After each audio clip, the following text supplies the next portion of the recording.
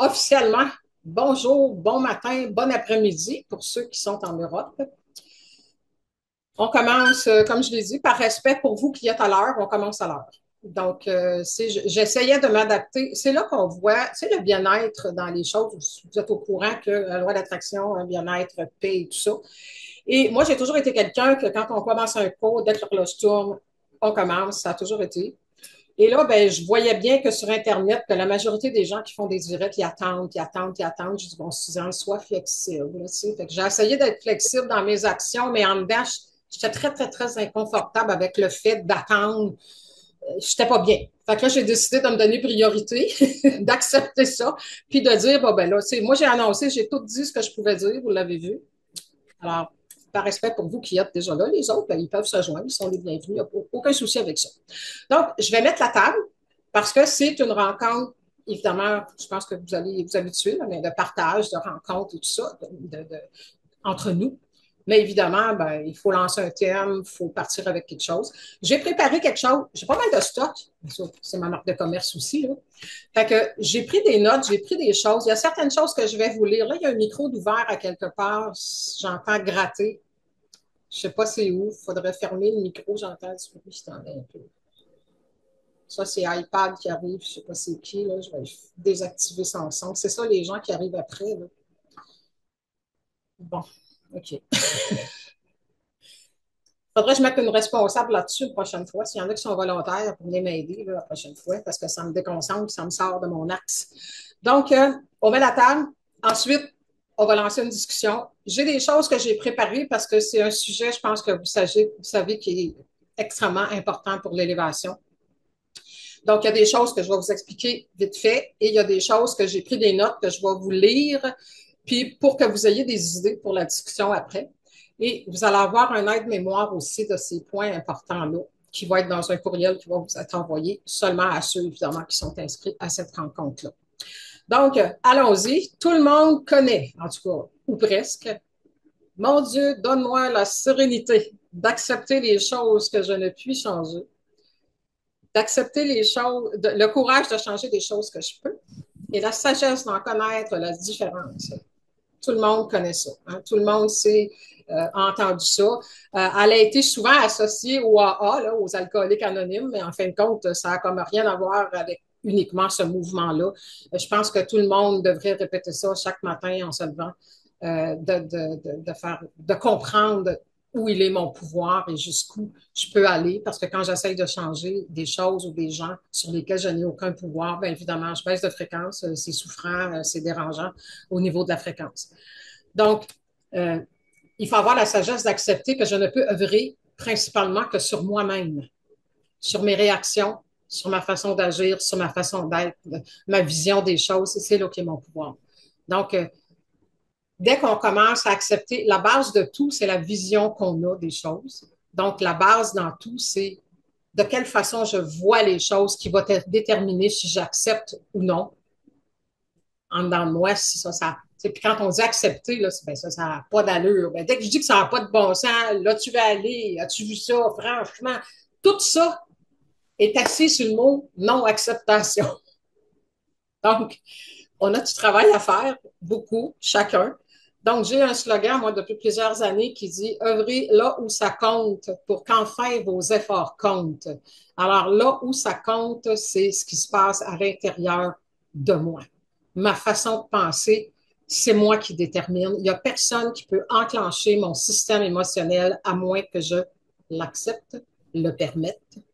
J'en donne la permission à quelqu'un, c'est-à-dire que ce que je pense de ce que l'autre dit, de ce que l'autre fait, de ce que le gouvernement fait, de ce que l'autre dit, enclenche un processus intérieur qui m'amènera dans une fréquence particulière à partir de mes émotions.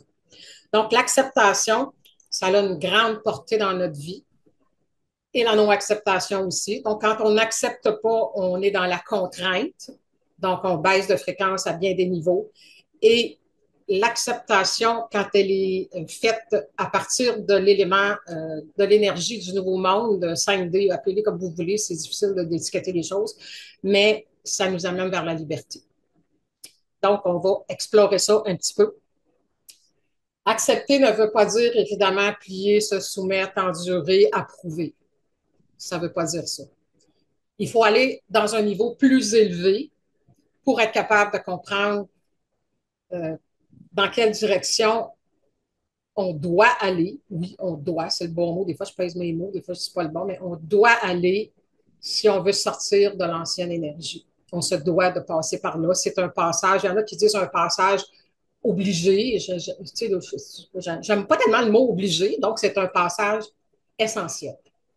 On se doit de, de, faire ce processus-là. Donc, qu'est-ce qui va nous aider à changer notre vision? Tous les humains sont des créateurs par la vibration, donc qui provient de nos émotions. Je pense que ceux qui sont ici, vous êtes tous au courant de ça. Donc, accepter l'inacceptable baisse définitivement nos fréquences. Sauf que on dit je veux pas accepter l'inacceptable. Donc, qu'est-ce que je fais? C'est là a le. Comment j'arrive à accueillir et accepter ce que je n'accepte pas? Donc, j'ai quelques pistes à vous donner. Là, je vais vous parler de quelque chose. Il y en a peut-être qui vont reculer, ça va frapper, mais en tout cas, vous me connaissez. Moi, je frappe jamais les humains, mais je frappe la conscience. J'adore ça. La mienne en premier. Il y a un mot que j'utilise depuis plusieurs années. C'est sûr que ça fait comme ça. Le mot viol. Dans le dictionnaire, rapidement, acte par lequel une personne non consentante est contrainte à faire quelque chose au moyen de la force, de l'intimisation ou la manipulation. J'imagine que vous me voyez venir. Accepter de se soumettre soi-même à son mental égo, à ses croyances, à ses peurs, pour plaire ou pour, euh, se violer soi-même. Accepter de se soumettre à autrui, encore là, à ce qu'on ne veut pas, par peur, pour être soi-disant, soi-disant, j'ai bien dit, aimé, en mode 3D, accepter, c'est se violer aussi soi-même. Ça prend des mots, des fois, pour éveiller notre conscience, de dire qu'est-ce que je fais là, puis j'arrête. Parce que c'est difficile de mettre un frein à plein de choses qu'on a acceptées, qu'on n'ose pas laisser aller, puis qu'on n'ose pas dire non parce qu'on est conditionné depuis de nombreuses vies. J'imagine que vous savez puis que vous êtes d'accord avec ça. C'est pas facile parce que oui, on veut aller dans une direction de mieux-être, de paix puis tout ça, mais en même temps, on en pèse lourd dans notre ce que j'appelle le, iceberg, là, ce que j'appelle tout ce qu'on traîne depuis des vies et des vies euh, qui nous emmène dans une direction que nous ne voulons pas aller parce que maintenant on a une nouvelle conscience on sait où est-ce qu'on veut aller. On va aller vers plus de bienveillance, plus de paix, plus de, tout ce qui est merveilleux. Mais le subconscient, lui, il n'est pas au courant de ça. Puis il y a pas mal plus épais dedans de l'autre monde que du nouveau monde. Donc, il faut qu'on soit, faut quand même qu'on y aille étape par étape. Tu ça fait partie du processus. Donc, tout part de nous. Première acceptation, c'est ça. Tout part de moi. Qu'est-ce que ça veut dire? C'est difficile des gens parce qu'il y en a qui vont dire, ben oui, mais là, ce qui arrive là, ça tout dépend pas de moi. C'est clair que tout ce qui se passe dans le monde dépend pas de moi. Oui, il y a beaucoup de choses qu'on va dire, oui, je les ai attirées. C'est vrai. Ça, c'est une partie. Par contre, il y a des choses qui sont des co-créations, pardon, collectives, euh, conjointes, euh, familiales et tout ça, que c'est pas moi nécessairement qui a créé ça dans ma vie. C'est ce qui mélange un peu les gens au niveau de la loi d'attraction. Mais qu'est-ce qui, dans l'autre partie que, je peux dire que tout part de moi, c'est ma réaction. Ma réaction. Donc, ce qui vient dans ma vie, je regarde, je peux regarder ma responsabilité à partir, qu'est-ce que j'ai pensé, qu'est-ce que je ressens, c'est quoi? C'est moi qui ai attiré ce personnage-là dans ma vie et qui a accepté de le laisser entrer dans ma vie malgré plein des choses, des fois, que je sentais que c'était pas bon pour moi. Et en même temps, il peut se produire des choses, comme on a vécu dans les dernières années. Hein, vous savez de quoi je parle. Euh, je peux pas me dire, c'est ma responsabilité à moi, tout ce qui est arrivé. Elle était où ma responsabilité? Ben, une responsabilité collective au niveau des humains, parce que le monde dans lequel on vit, c'est le monde que nous avons collectivement créé, qu'on soit d'accord ou pas, c'est ça pareil. Il faut accepter que les humains vivent dans la peur depuis toujours, et on a accepté l'inacceptable, et c'est pour ça qu'on est rendu là. Et si on veut virer ça, ben, c'est pas en criant qu'on n'accepte pas ce qu'ils font qu'on va y arriver. J'espère que vous avez compris ça. Il faut bouger autrement. Donc, on doit refuser d'accepter tout ce qui nous fait perdre notre état originel de paix, de bien-être, de joie. C'est notre état de base, quand on a été créé, on porte la divinité, on n'essaye pas de devenir divin puis spirituel. Notre travail, c'est d'enlever tout ce qui nous a alourdi et tout va se mettre en place. Je pense que vous le savez déjà, je fais juste un petit refresh. Donc, des fois, ça fait du bien, des fois, de se rappeler.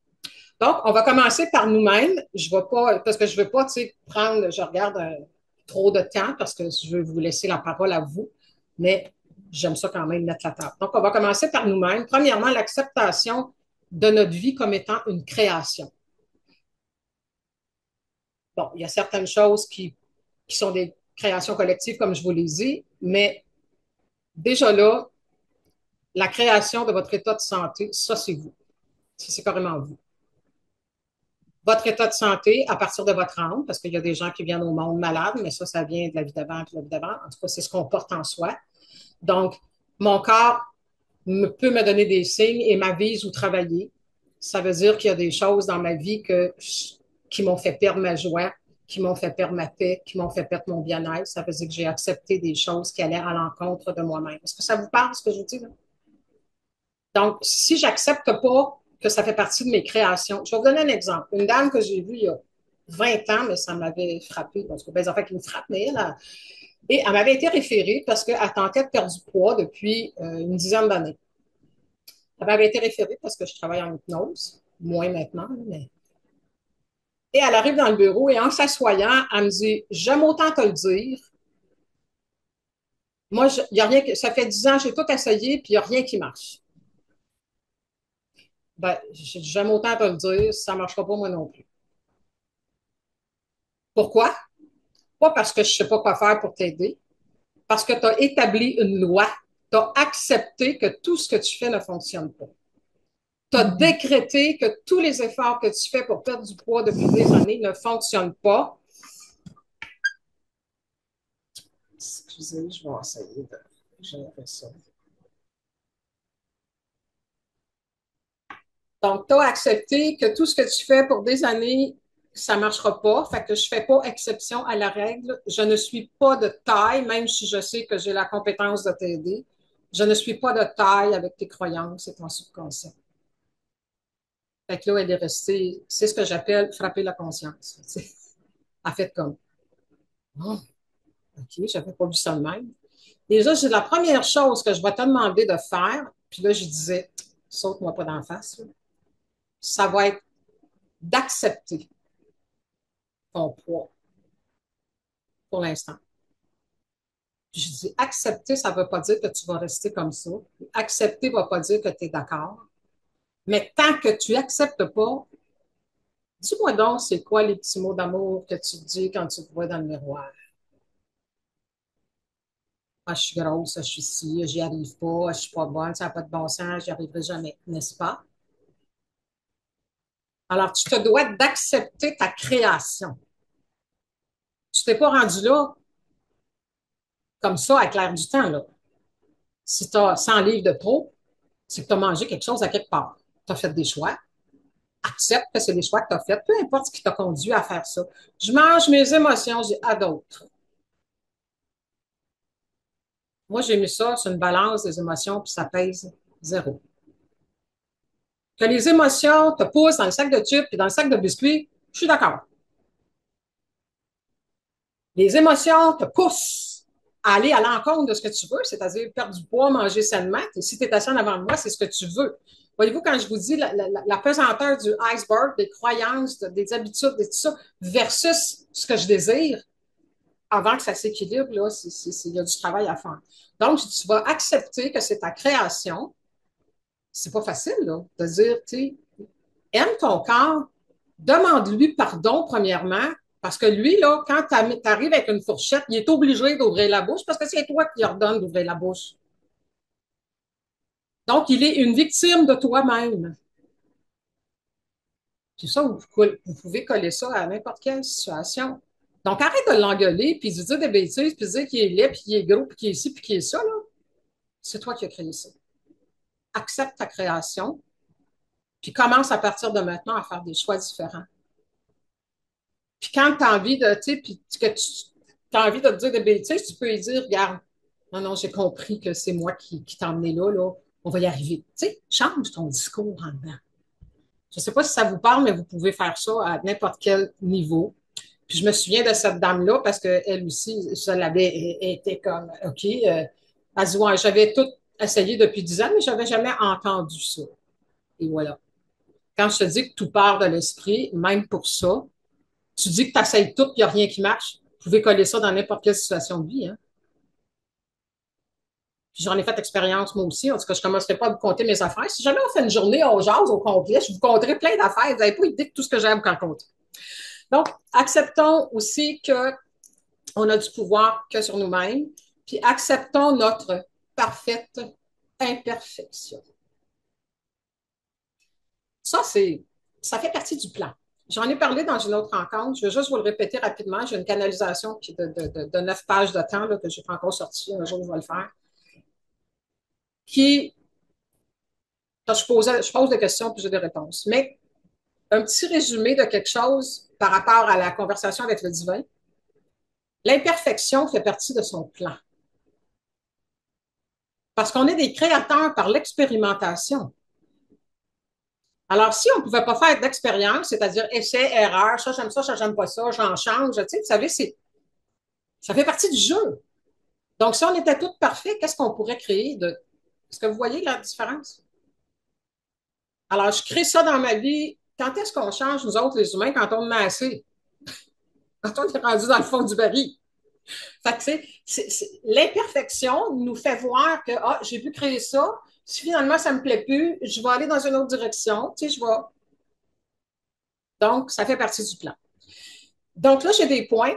Je ne vais pas élaborer sur chacun parce que ça va durer quatre heures, vous n'aurez pas le temps de parler. Mais je veux quand même vous donner des pistes que vous allez pouvoir réfléchir et vous allez avoir un petit résumé là, dans le courriel que je vais vous envoyer parce que je vais y aller assez vite. Il y en a qui disent Tu vas trop vite, je n'ai pas le temps de noter. Bien, vous reprendrez la diffusion. Puis dans la rediffusion, la madame ici, vous pouvez la mettre sur pause. Ici, en direct, c'est plus difficile. Donc, on va regarder, j'ai des points concernant l'acceptation de soi qui constituent la base de tout. Donc, premièrement, accepter son unicité, reconnaître que chacun de nous est unique. Talent, force, et imperfection Hein, ça fait partie de nous. Cette acceptation est fondamentale pour cesser de se comparer aux autres et honorer nos propres chemins. Il faut arrêter de se comparer aux autres, il faut s'accepter. On, on est tous uniques. Puis on a des choses particulières à.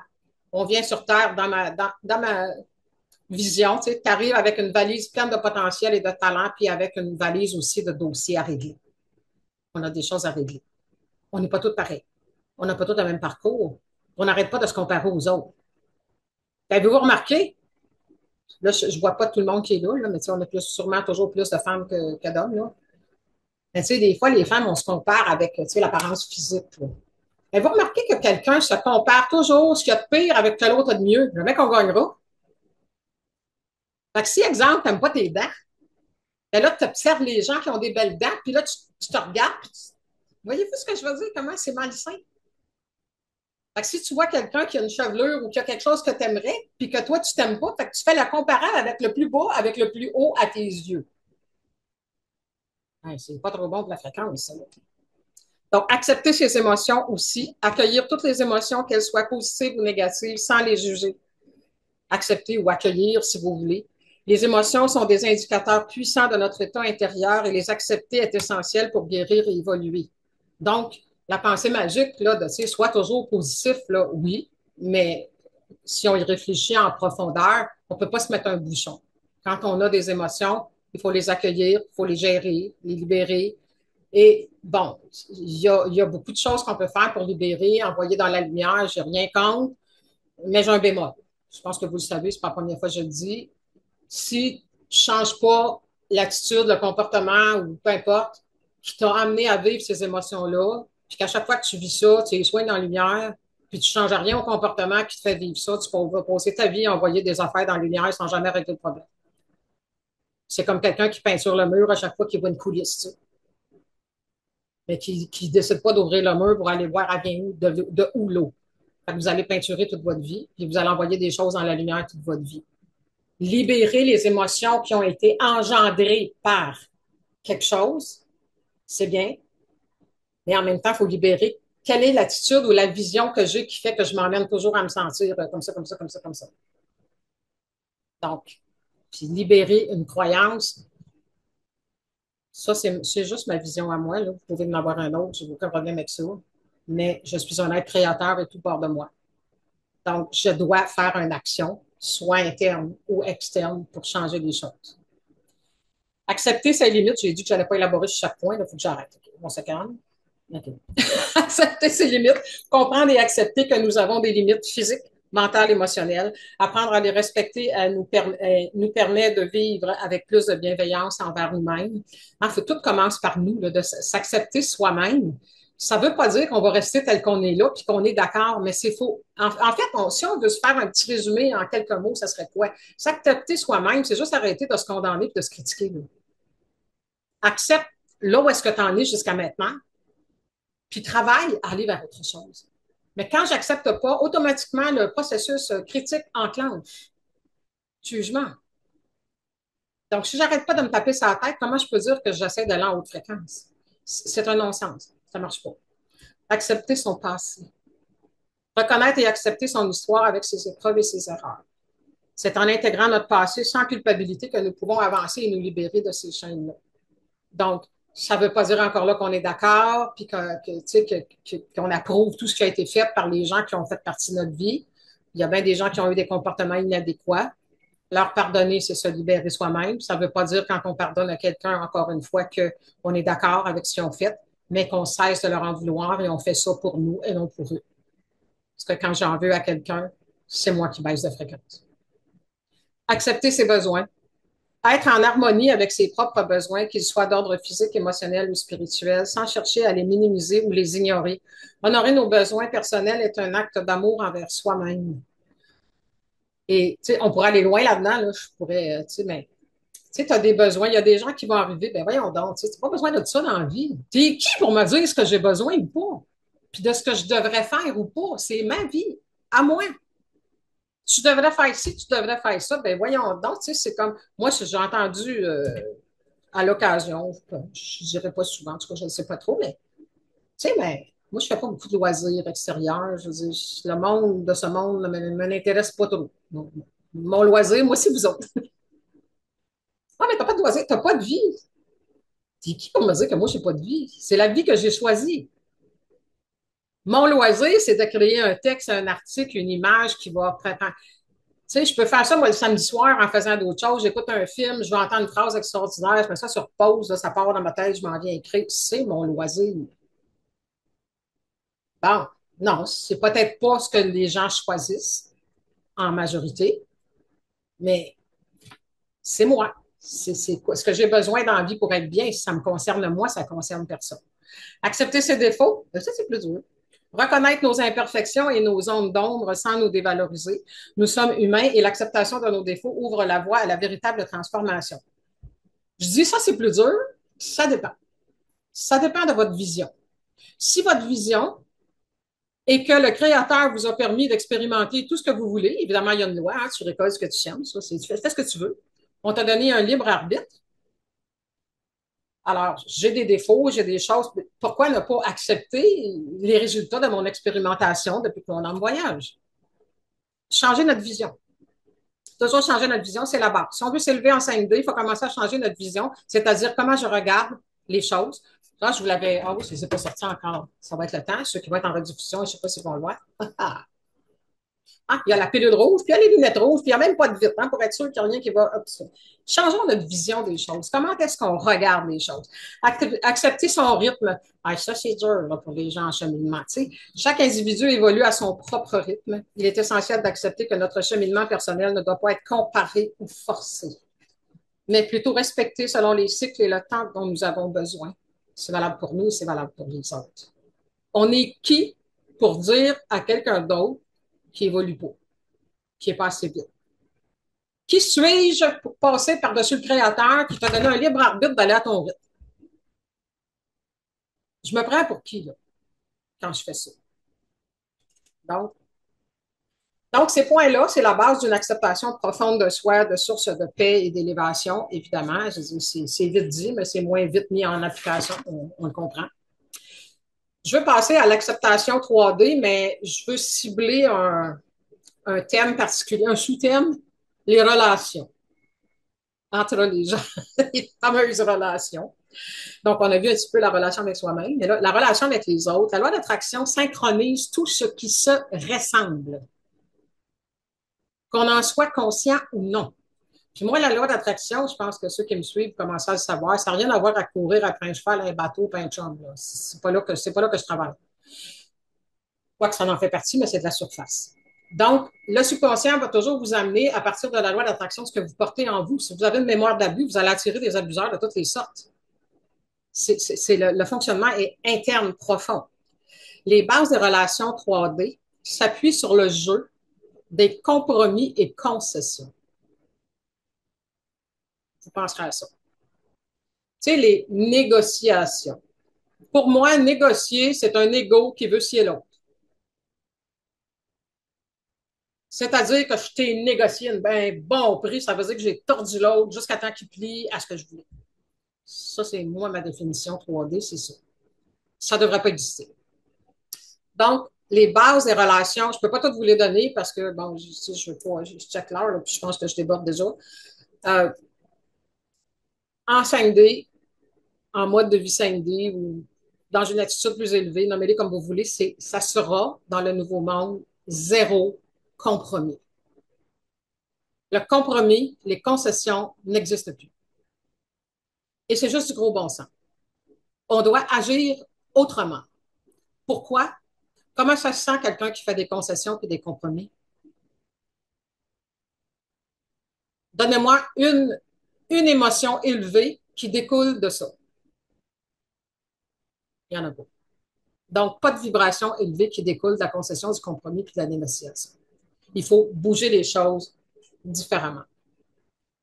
Il faut, et surtout, quand on est en relation avec les autres, si vous êtes en conscience et que vous avez compris que vous êtes un être créateur par la fréquence vibratoire et que vous dites aimer une personne qui est dans votre vie, j'imagine que vous souhaitez qu'elle soit en haute fréquence elle aussi. Donc, on ne la fait pas plier à quelque chose dans lequel elle n'est pas bien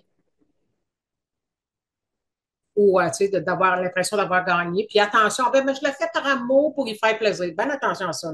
Allez vraiment sonder à l'intérieur de vous si c'est un plaisir 3D ou 5D.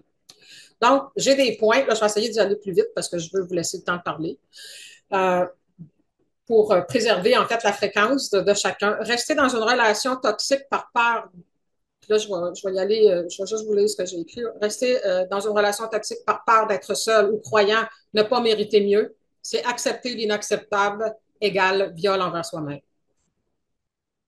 Accepter des commentaires destructeurs ou des jugements sans se défendre ou poser ses limites, c'est accepter l'inacceptable, c'est se violer soi-même. Se, conforter aux attentes des autres, même si cela va à l'encontre de ses propres désirs et valeurs pour éviter le rejet ou le conflit, c'est accepter l'inacceptable, c'est un viol envers soi-même. Est-ce que ça fait du sens pour vous autres? sacrifier son bien-être pour plaire aux autres ou pour maintenir une apparence de paix dans des situations tendues, c'est accepter l'inacceptable, c'est se violer soi-même.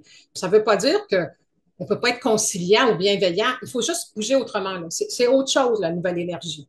Si vous comprenez que vous ne devez pas baisser de fréquence, sinon vous allez vivre avec les conséquences et de plus en plus rapidement, il faut qu'on trouve comment est-ce que je peux faire pour pas baisser de fréquence en arrivant à vivre ce que j'ai envie de vivre pour moi-même et avec les autres. Et il y a des trucs. J'en donne, j'en parle aussi dans ma formation, mais bon, je suis pas en train de donner une formation aujourd'hui, même si ça ressemble peut-être à ça. Tolérer, euh, je sais plus où j'étais là, tolérer un environnement de travail irrespectueux par peur de perdre son emploi, même si cela affecte sa dignité et l'estime de soi. Combien de gens vivent ça? Combien de gens sont pris? dans des emplois où ils disent, ah, il me reste juste trois ans pour ma retraite, je suis après mourir. J'entends ça. Je suis après mourir. Ils ne se rendent même pas compte de ce qu'ils disent. Accepter l'inacceptable, c'est un viol envers soi-même. Se soumettre à diverses règles ou prétendues valeurs au nom des relations familiales, même si cela entraîne de la souffrance ou un mal-être, sous la pression ou par crainte de perdre l'approbation familiale, c'est encore un viol de soi-même. Donc, on peut reprendre tous ces points-là, puis de regarder qu'est-ce que je fais subir peut-être aux autres, aux gens qui m'entourent. Est-ce que je les force à se soumettre à certaines choses? Et parfois, c'est déguisé en amour. Ça demeure quand même un viol. Donc, rapidement, au nom du soi-disant amour conditionnel 3D, lien de sang, mariage, religion ou pouvoir financier, hein, combien de femmes restent dans des relations parce qu'ils ont été à la maison toute la vie? Ils n'ont pas travaillé, puis tu sais, on peut travailler. Une femme à la maison ne travaille pas. Il n'y a, pas, a pas un travail le moins bien rémunéré. Tu n'as pas de pause, tu n'as pas de vacances, tu n'as pas de. En tout cas, vous savez de quoi je parle. Et quand ça ne fonctionne plus dans son couple, elle ne peut pas sortir de là parce que financièrement, elle est menacée de tout bas de côté. Donc, obliger, forcer, manipuler une personne à rester dans une relation toxique, parce que j'ai vu ça. Ce que je vous parle, je l'ai vu dans mes clients, puis tout ça, ben, regarde, tu peux être en allée, mais tu vois, tu vas te retrouver dans la rue. Vous avez déjà peut-être entendu ça, là. Les gens qui usent de leur pouvoir. Obliger quelqu'un à écouter des commentaires destructeurs. Tu sais, comment je peux obliger quelqu'un? Moi, je vous parle en tant qu'enfant qui a eu des parents violents. Tu vas écouter ce que je dis, puis tu vas rester là, puis tu n'écoutes pas, tu vas en manger une. Est-ce que ça vous parle? Puis quand tu as 8 ans, tu as 7 ans, puis tu as 12 ans, comment tu fais pour sortir de là quand t'es pas, tu ne peux pas survivre par toi-même? Donc, tu es obligé d'encaisser tout ça. C'est là. Même si c'est un choix, tu, fais quoi pour aller gagner ta vie quand tu as 8 ans? Donc, tu es pris là. Donc, obliger quelqu'un à se conformer à nos attentes, à vivre dans un environnement irrespectueux, à se, à, se, soumettre, à se conformer à des règles religieuses, culturelles, familiales ou autres, c'est encore un viol. Est-ce que nous, on fait ça aux autres des fois? Moi, mais je suis ta mère. Non. C'est un jeu de rôle. Ça, c'est de la matrice 3D. Là. Tu me dois. Hein? Vous savez de quoi je parle. Donc, tout ça, c'est un viol du cadeau du créateur. Appelez-le comme vous voulez le créateur. Un viol de l'esprit par la manipulation du pouvoir créateur de l'humain qui sont ses sentiments. Est-ce que je suis trop raide? Et c'est aussi un viol du libre arbitre que le Créateur nous a donné. Et ça se fait collectivement au niveau des peuples. Je ne vous donnerai pas d'exemple, vous m'avez plein en tête. Et ça depuis des vies. Forcer quelqu'un à faire et à se soumettre à quelque chose qu'il ne veut pas.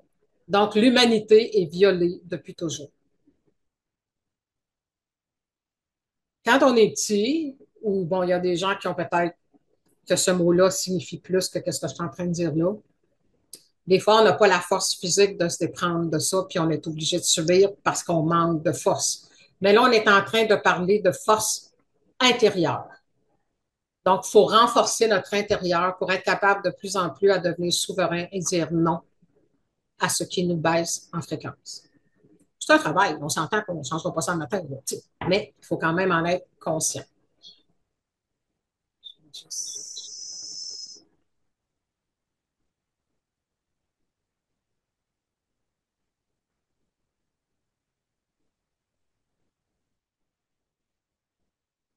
Désolée, il y avait des micros qui, euh, qui grattaient. Donc, je passe maintenant à l'acceptation 5D. Pour nous aider, reconnaissons toujours le libre choix de chacun, le cadeau et l'ordre du créateur. Donc, comment accepter ce qui peut nous sembler inacceptable? Je sais que ça n'a pas d'allure ce que je viens de vous dire là, mais je rien, je m'en quelque part avec ça. Commencez par accepter. Regardez tous les humains sur Terre, votre famille. Pensez au monde qui vous entoure, là, vous allez en avoir déjà plein de bras tous les gens qui vous entourent sont des âmes qui sont venus sur Terre pour X raisons. Ils vivent depuis de nombreuses vies, donc ils ne font pas pitié dans rien. Ils, sont dans la suite, ils sont dans une continuité dans leur choix et dans leur récolte, choix, récolte, choix, récolte, choix, récolte depuis des vies, tout comme nous. Donc, ils ont reçu le libre arbitre de créer ce qu'ils voulaient. Donc, moi, ma base est là. J'accepte et d'abord, ça fait partie de l'amour inconditionnel versus conditionnel. Comment on dit l'amour inconditionnel? Peut-on vivre ça sur Terre? Oui. Comment? Ça, c'est une autre histoire. Donc, l'amour inconditionnel, c'est j'accepte que tu sois. C'est ce que le Créateur fait. Moi, je me dis, le meilleur professeur, c'est le Créateur. Donc, il faut juste comprendre son langage. Donc, si lui, il accepte que je fasse ce que je veux. Évidemment, il y a une règle de base, hein, c'est sûr que si tu sèmes des carottes, attends pas du brocoli, c'est juste du gros bon sens. Donc, si j'accepte que chaque âme a un libre arbitre et elle peut faire ce qu'elle veut de sa vie, je vais commencer à arrêter de la juger, de la critiquer, de la condamner. Par contre, je ne peux pas accepter tout ce que quelqu'un fait si je m'oblige à endurer cette personne-là dans ma vie, puis ça va à l'encontre de qui je suis. Est-ce que ça fait du sens pour vous autres? Donc, j'accepte que tu sois tel que tu parce que le Créateur te le permet. Qui suis-je pour te dire que tu ne devrais pas être, puis penser, puis faire ce que tu veux? Je me prends pour qui, moi, là? là? Par contre, par amour et respect pour moi, ce que tu es, pas capable. Donc, bonne chance, bonne route, chers collègues en évolution. Moi, ça ne rentre pas dans ma vie. Le pouvoir qu'on a eu, c'est de choisir. Ça oui, ça non, ça oui, ça non. Pas obligé de lancer des roches à ce qu'on n'accepte pas. Est-ce que c'est logique pour vous? Ça a du sens, hein? Donc, tu récoltes ce que tu sèmes. Ça ne nous oblige pas euh, par le même droit de libre arbitre, comme je vous ai dit, à accueillir des gens qui agissent contre nos principes, qui sont contre nos valeurs, qui sont. Puis là, il y en a qui vont penser, qui vont me dire, parce qu'il y en a qui m'écrivent pour me le dire, fait que je vais vous donner la réponse avant que vous posiez la question. Ouais, mais là, on s'en va dans un monde bienveillant, il faut accueillir et accepter tout le monde, il faut être dans l'amour et sortons notre violon, tout ça. Oui, on s'en va vers ça, mais on n'est pas rendu là. En attendant, quand tu es devant quelqu'un, est-ce que tu es devant son ego ou es devant son divin? Là est la question. Un exemple, un exemple, qui se passe si deux personnes décident de construire une maison? Ils n'ont pas les mêmes objectifs. Un veut en faire des bureaux parce qu'il travaille autonome, puis l'autre veut trois enfants. Qu'est-ce que... Ils n'ont pas les mêmes objectifs, ils n'ont pas les mêmes goûts, ils n'ont pas les mêmes besoins. Puis là, on veut construire une maison. Ça va donner quoi? On va s'assiner, on va négocier, on va savoir qui c'est qui va gagner sur l'autre. Qu'est-ce que tu fais avec une personne de même? Si quelqu'un veut toujours t'emmener dans une direction que tu ne veux pas aller ou que toi, tu essaies toujours de par les cheveux et qu'elle vienne dans ta direction, lâchez-vous. Laissez aller les gens vers, les, vers ce qui les rend heureux. Mais si ce qui les rend heureux n'est pas la même chose que vous, lâchez. Acceptez de laisser partir les gens. Ça, c'est un gros défi, là. Ceux qui sont en cheminement actuellement, assez profond, ben, il y a encore un défi. C'est que si vous voulez vous élever, ce qui n'est pas dans la même énergie que vous va devoir quitter votre vie. Que ce soit des biens, des choses, des gens. Ben non, je vais amener ma famille, mon frère, ma soeur. Ben là, il faudra peut-être comprendre c'est quoi la famille natale, matrice 3D versus la famille d'angle et puis oui, tous les âmes sont, à la source, puis tout ça, mais on a tous eu un libre arbitre. Donc, il y en a qui expérimentent le côté ongle, d'autres lumières, puis des fois les deux, puis nous autres aussi. Fait que faut laisser aller les gens. Et vous n'avez pas tassé des gens dans votre vie, ils vont se tasser tout seuls si vous restez qui vous êtes. Il y en a qui me disent, ben, je dois-tu me séparer? Je c'est pas de mes affaires ce que tu dois faire. Mais arrête de te séparer de toi. Arrête de, te pousser à de te de t'imposer à vivre des choses que tu veux pas. Alors, si tu deviens toi-même et que tu commences à dire non ce que tu veux pas, regarde bien qui c'est qui va rester autour de toi. Ceux qui étaient là pour te manipuler puis qui t'aimaient parce que tu étais une belle carpette ils t'aimeront plus, là. Ils vont s'en aller. Mais pourquoi tu retiens quand le problème s'en va? Est-ce que c'est logique?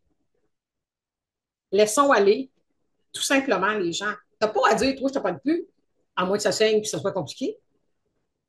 Mais si vous êtes vous agissez de plus en plus en mode élevé, ce qui va dans la même direction que vous va, vous accompagner, va, s'élever avec vous, puis les autres, ils vont continuer leur chemin jusqu'à temps qu'un jour, ce n'est pas nos affaires, ça ne nous regarde pas. Donc, euh, respecter le libre arbitre des autres, hein, sans juger, ça, c'est les balises au niveau 5D, vous allez les savoir dans le courrier que je vais vous envoyer. Même s'ils font des choix différents des nôtres, selon leurs propres valeurs en choisissant ce qui est aligné avec sa propre paix et bien-être. Poser des limites cernes sans se sentir coupable en respectant son droit à l'environnement digne, à l'environnement digne et épanouissant.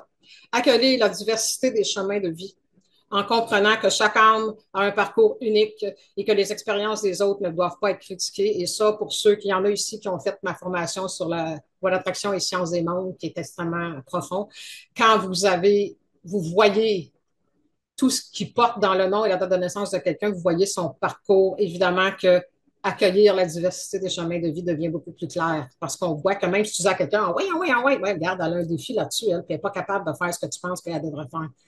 Elle trop travailler là-dessus. Donc, euh, accepter les situations sans résistance excessive, tout en faisant des choix conscients pour se réaligner avec ce qui nous élève, nous permet de rester dans un état de joie et de paix. Prendre des décisions en accord avec son bien-être. Puis sans compromettre ses valeurs profondes, tout en laissant aux autres la liberté de suivre leur propre voie. Ça, j'ai une phrase que je véhicule depuis 25 ans. Mêlons-nous de nos affaires. Arrêtons d'intervenir dans la vie des autres sans leur consentement c'est violer leur libre arbitre. Ouais, mais moi, je veux son bien. Son bien, c'est que tu respectes sa liberté. C'est ça, son bien. Puis s'il fait des choix qui l'emmènent les pieds d'un plat, il découvrira comment faire pour s'en sortir. Il va apprendre quelque chose là-dedans. Accepter de laisser euh, partir de notre vie les relations, je vous l'ai dit tantôt, attitude, habitude aussi, qui ne contribuent pas à entretenir en nous la haute vibration afin de rester aligné avec les fréquences élevées et finalement accepter que certaines expériences et relations ne puissent pas être réparées et choisir d'avancer sans rancune ni attachement à ce qui ne peut être changé pour préserver sa paix intérieure et rester aligné avec une haute vibration. Hein, on disait la prière, la sérénité. Montre-moi la différence entre ce que je peux changer et ce que je ne peux pas. Tout ce qui concerne les autres, la seule chose que je peux changer en ce qui concerne les autres, c'est ce que je pense d'eux. Parce que tout ce que je vis émotionnellement est déclenché par quoi? Par ma vision de la chose ou de la personne. Il n'y a pas personne qui peut me faire pogner une heure. Personne. Pour mes amis français, pogner une heure, c'est choqué. Je ne sais pas si choqué, ça marche aussi. Donc, vous savez ce que je veux dire? C'est ce que je pense de ce qui est en avant de moi qui m'enclenche émotionnellement, donc vibratoirement. Donc, on doit travailler notre vision des choses. Donc, on est rendu. Je déborde un petit peu, mais c'est pas rien. de toute façon, moi, je, suis avec vous autres. Si vous êtes pressés, ben, vous partirez. Comment ça se passe pour vous, tout ça? Quel est votre degré d'acceptation de ce qui est? Où avez-vous des difficultés? Puis partageons nos défis, nos trucs, puis nos astuces, si vous en avez. Donc, ça va être le temps de passer à la, à la discussion. Est-ce qu'il y en a qui ont des choses à dire par rapport à tout ça? Euh, même si vous avez des questions, si vous voulez que j'éclaircisse quelque chose que j'ai dit, je n'ai dit pas aussi, mais le but est que vous laissez partager. À mon tour de vous écouter. Allez-y. Voici Daniel. OK. Euh, que finalement, on peut se sortir de tout. Euh, j'ai choisi bien inconsciemment de vivre de la violence, des viols, etc. Et je suis aujourd'hui, j'ai de la joie de vivre, je me lève, je suis heureuse, j'ai fait tout un cheminement, j'ai choisi et j'ai accepté et j'accepte qu'est-ce que j'ai expérimenté? Aussi. Alors, oui, on peut se sortir de tout, absolument tout. voilà. tellement, tellement, un beau témoignage. Euh, oui, euh, c'est notre vision. Je reviens là-dessus, mais ça, c'est si vous travaillez à œuvrer, à aller en 5D, on s'en fout du nom, appelez-le comme vous voulez. Moi, c'est comme le créateur. Appelle-les bananes si tu veux, j'en ai rien à foutre. En autant que tu as compris euh, finalement le, processus, c'est que si on a compris que tout part de nous et que c'est notre vision des choses qui va déterminer la façon dont on va se sentir, qu'on va penser, parce que maîtriser ses pensées, je vous l'ai déjà dit, il y en a qui disent, il y a des, euh, des pensées, comment est-ce qu'on a des milliers par jour? C'est, bon, tu ne peux pas maîtriser tes pensées. La seule façon de diminuer ou de donner une orientation à tes pensées, c'est ta vision. Qu'est-ce que tu penses de telle personne? Qu'est-ce que tu penses de telle situation? Qu'est-ce que tu penses de ce qui vient d'arriver? À partir de là, il y a plein de pensées qui arrivent qui vont devenir des scénarios, qui vont devenir des émotions, qui vont devenir une vibration, puis qui vont créer le contraire de ce que tu veux si tu t'en vas dans le. Donc, il faut vraiment comprendre les bases. Bravo, Daniel, c'est super. OK, tu ne pas jaser le matin? Êtes-vous gêné? Tu n'avez rien à dire. C'est quoi vos trucs? Y a-t-il des choses que vous avez de la misère? Tu dis, oui, j'ai tout compris ça avec ma tête, je suis une personne intelligente. Parce que moi aussi, je dis ça des fois. Tu sais, je, vois clair, je comprends, je suis intelligente, mais Moses, que ça, là. c'est, c'est plus fort que moi, puis je manque de maîtrise parce que j'ai de la misère à accepter un comportement comme ça. Vas-y, Valérie. Bonjour, bonjour tout le monde. Merci pour le beau partage, Suzanne, et déjà aussi euh, Daniel. Mais euh, c'est pas qu'on est gêné, mais on se dit, tiens, est-ce que ça va être intéressant pour les autres qu'on a raconté?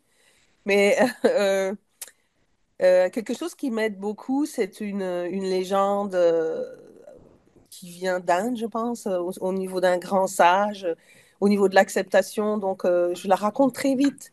C'est l'histoire d'un sage qui a une très bonne réputation. Tout le monde vient le consulter dans son village et, un jour, la porte s'ouvre et, il y a euh, des parents qui sont très furieux avec un bébé dans les bras et une jeune fille qui pleure derrière. Et ils disent, ben, écoute, tu as fait un bébé à notre fille, euh, voilà, occupe-toi-en. Et le sage prend le bébé, il dit, ah bon?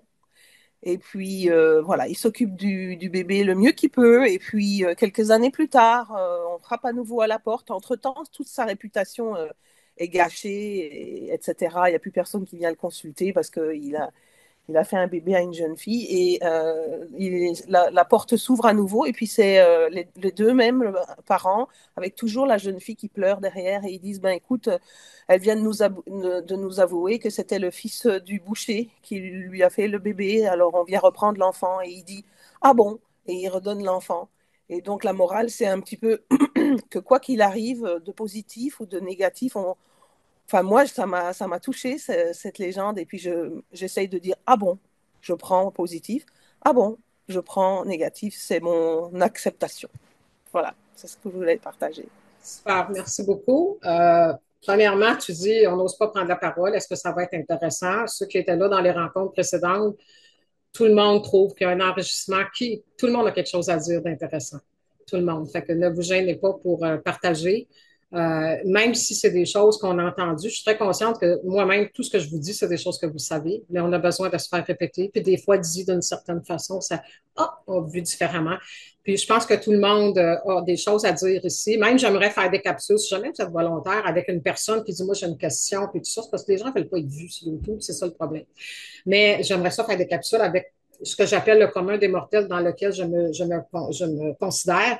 Euh, pas juste faire des capsules avec des coachs qui ont des affaires à dire, avec quelqu'un qui on genre, c'est juste ça. Fait que gênez-vous pas. Et ton Ah bon, ça, ça vient de Nouvelle Terre, le livre Nouvelle Terre, le CD. Je parle de ça depuis 25 ans. Euh, moi, je disais aux gens devant, ça fait partie de mes outils, devant quoi que situation, Ah bon. Puis, ou si vous êtes québécois, ouais, puis donc, euh, j'avais enseigné ça à ma fille, elle avait 6 ans, elle va en avoir 40, non pas 30 ans. Euh, tu sais, elle à l'école. Tu sais, à l'école, les enfants, c'est pas toujours gentil, hein, ça se, tu ça, dit des bêtises, puis tout ça. Puis, bon, elle, évidemment, qu'elle, elle se choquait, puis tout ça. Je dis, regarde, essaye un truc. Quand tu vas, euh, quand ils vont dire quelque chose, fais juste, ouais, puis. Et quand elle est revenue le soir, j'ai dit, ouais, puis. Ah, c'est drôle, elle dit. Ils savent plus quoi dire. Mais non, ce qu'ils cherchent, c'est une réaction. Donc, mes deux, ça fait partie moi aussi de mes enseignements, les trucs, là. Ah bon? Puis ouais, puis. Tu sais, même s'il arrive quoi que ce soit, il y en a peut-être qui ont vécu ici les inondations dernièrement, puis tout ça. Tu sais, il y en a qui ont réagi de façon très forte. Je comprends que si ton matelas traîne dans l'eau, puis tout ça, c'est pas le fun. Mais reste que ton matelas traîne dans l'eau pareil. Fait que tu peux pas gérer ça. Il faut que tu trouves une solution, il faut que tu gères la chose. Fait faut qu'en plus que tu gères ton état émotionnel, que tu as mal en tête, que tu te donnes une migraine, puis que là, tu sais, en plus, tu es en train de te créer une maladie parce que tu n'es pas capable de gérer tes émotions parce que c'était arrivé. On s'entend-tu qu'on amplifie la chose? Puis j'ai quelque chose, des gens qui me disaient quand je faisais mon cours de méditation et maîtrise de la pensée, j'avais des, des, outils chaque semaine que je leur donnais. Puis je disais, tu sais, c'est-tu si grave que ça, au point que tu fasses monter ta pression, chuter ta vibration? Et quelqu'un m'a dit, mais Suzanne, tu peux, peux pas tout banaliser. Je dis, non, pourquoi? Non, je, je banalise pas, mais je suis devant un fait. Alors, quand c'est un fait puis que c'est dans la matière, c'est la création de moi, de quelqu'un ou d'une collectivité, c'est là, c'est dans mon visage. Qu'est-ce que je peux faire avec ça? Je peux juste gérer ma réaction. Donc, effectivement, ah bon, c'est un très bon truc, Valérie. Euh, merci de l'avoir amené. C'est ah bon ou wimpy pour les petits. Mais oh, il est arrivé ça. OK, ah bon. On fait quoi avec ça après? Tournez-vous vers la solution. Parce que si vous grattez après le problème, vous faites quoi? Là? C'est s'apitoyer sur son sort. C'est sûr qu'on peut le faire, 5 minutes, 10 minutes, 3 heures si vous voulez. Là. Mais plus on travaille en conscience, plus on se rend compte. Moi, je, moi, je me vois. je me dis, la vision, c'est envers soi. Je me dis, OK, tu as peut-être raison, là, sauf que, tu raison, l'ego. Hum. Mais là, tu sais, tu sais ce qui va arriver si tu continues à penser de même, à ressentir ça. Puis pendant ce temps-là, la solution ne peut pas, venir à ta rencontre. La solution ne peut pas venir cogner à ta porte parce que tu es aligné ailleurs. Tu es aligné sur le problème. Donc, le truc de Valérie, c'est très, très Ah bon, il arrive ça. Ah bon, on fait quoi de ça? Ça donne rien de s'emmener dans des, des énergies euh, très basses parce qu'on va être obligé de se ramener, fait qu'on travaille en double. Allez-y, on continue. OK. Vous n'avez rien à dire? Ah, Joanne, vas-y. OK, vous m'entendez? Oui. Oui, OK. Moi, puis les technos, des fois, là.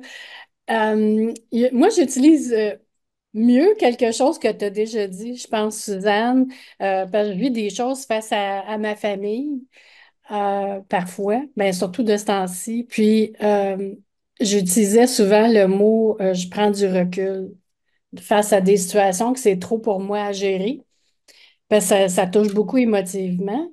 Puis, ce que j'utilise depuis que tu as dit ça, c'est prendre de la hauteur. Oui, ben, c'est je ça. Je me suis dit les deux, moi. Recule, puis monte. ah, là, je, je recule plus. Je prends, je prends de la hauteur, j'observe, je m'observe moi-même. Et là, c'est là que ça laisse de la place pour euh, moi là-dedans, comment je me sens, puis c'est où ma place que je dois la prendre. Et c'est ça depuis, ben, particulièrement depuis ce temps-là, je te dis, ça a bien tombé, c'est bien arrivé. Je dirais pas tombé, là, mais c'est bien arrivé. Euh, puis j'utilise ça souvent, euh, vraiment. Parce que c'est, beaucoup de et moi là-dedans. ben, en tout cas, moi, je, je pense comme beaucoup de monde, on s'est mis de côté. On nous a appris à se mettre de côté pour les autres. Euh, mais c'est de reprendre notre place. Euh, je me sens plus solide aussi depuis plusieurs années, là. Mais mon Dieu, des fois, c'est à quel prix, tu sais? Mais c'est ça, c'est de prendre la hauteur face à des situations où ça vient me chercher particulièrement. Puis après, ben, c'est de, de trouver des, pas juste des solutions, mais moi là-dedans, pour pas que on, on passe à d'autres choses, on s'en va en avant, tu sais.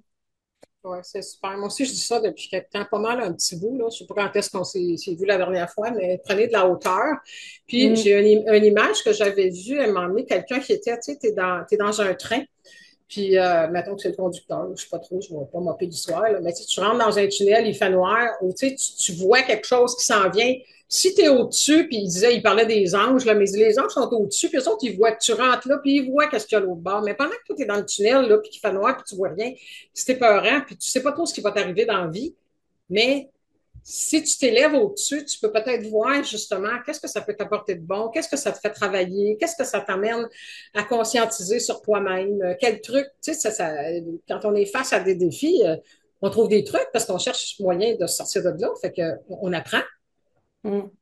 Fait que, puis effectivement, tu sais, reculer, ça fait quand même un bout de temps que moi je dis moins ça aussi parce que reculer, c'est, ça te permet pas de voir l'ensemble des choses. Il faut prendre de la hauteur comme s'élever. Si tu t'é- si tu t'élèves en montgolfière ou en avion, hein, tu, vois, tu vois beaucoup de choses que tu vois pas quand tu as le nez collé dessus. Mm. Fait que euh, prendre la hauteur, ça, ça on va continuer avec toi. Tu sais, c'est. Comment tu comme, fais? comme Concrètement petite parlant? C'est comme ta petite main. Tu sais, c'est comme, oh, arrête là, prends de la hauteur, puis regarde qu'est-ce que tu fais. Comment, qu'est-ce qui se passe dans mon cerveau, là, tu sais? comment, est-ce que tu peux nous donner un exemple concrètement de comment tu prends de la hauteur? Euh, je Si dire? tu peux, Ben, là, sens-toi pas, euh, tu sais, si, si tu peux, là, c'est comme. oui, mais souvent, ben, comme je te dis, de ce temps, ben, depuis la dernière année, c'est beaucoup au niveau comme de ma mère, parce qu'elle est vieillissante, et puis euh, c'est, c'est de voir qu'il y a des changements, puis c'est de s'apercevoir qu'il y a des changements, puis de, de réaliser ça. C'est ça que, que je trouve euh, émotivement des fois difficile. Euh, fait Des changements, tu veux dire quoi? Je veux dire, sa santé se détériore ou? oui, c'est ça, la démence et tout ça. Fait que c'est ça, c'est ça, ça c'est touchant. Puis là, je- on est quatre enfants chez nous. Fait que là, tu sais, t'as quatre, quatre versions. euh, puis ma soeur qui est très germaine comme. Fait que c'est elle euh, qui garde ma mère, Elle- mais c'est son choix.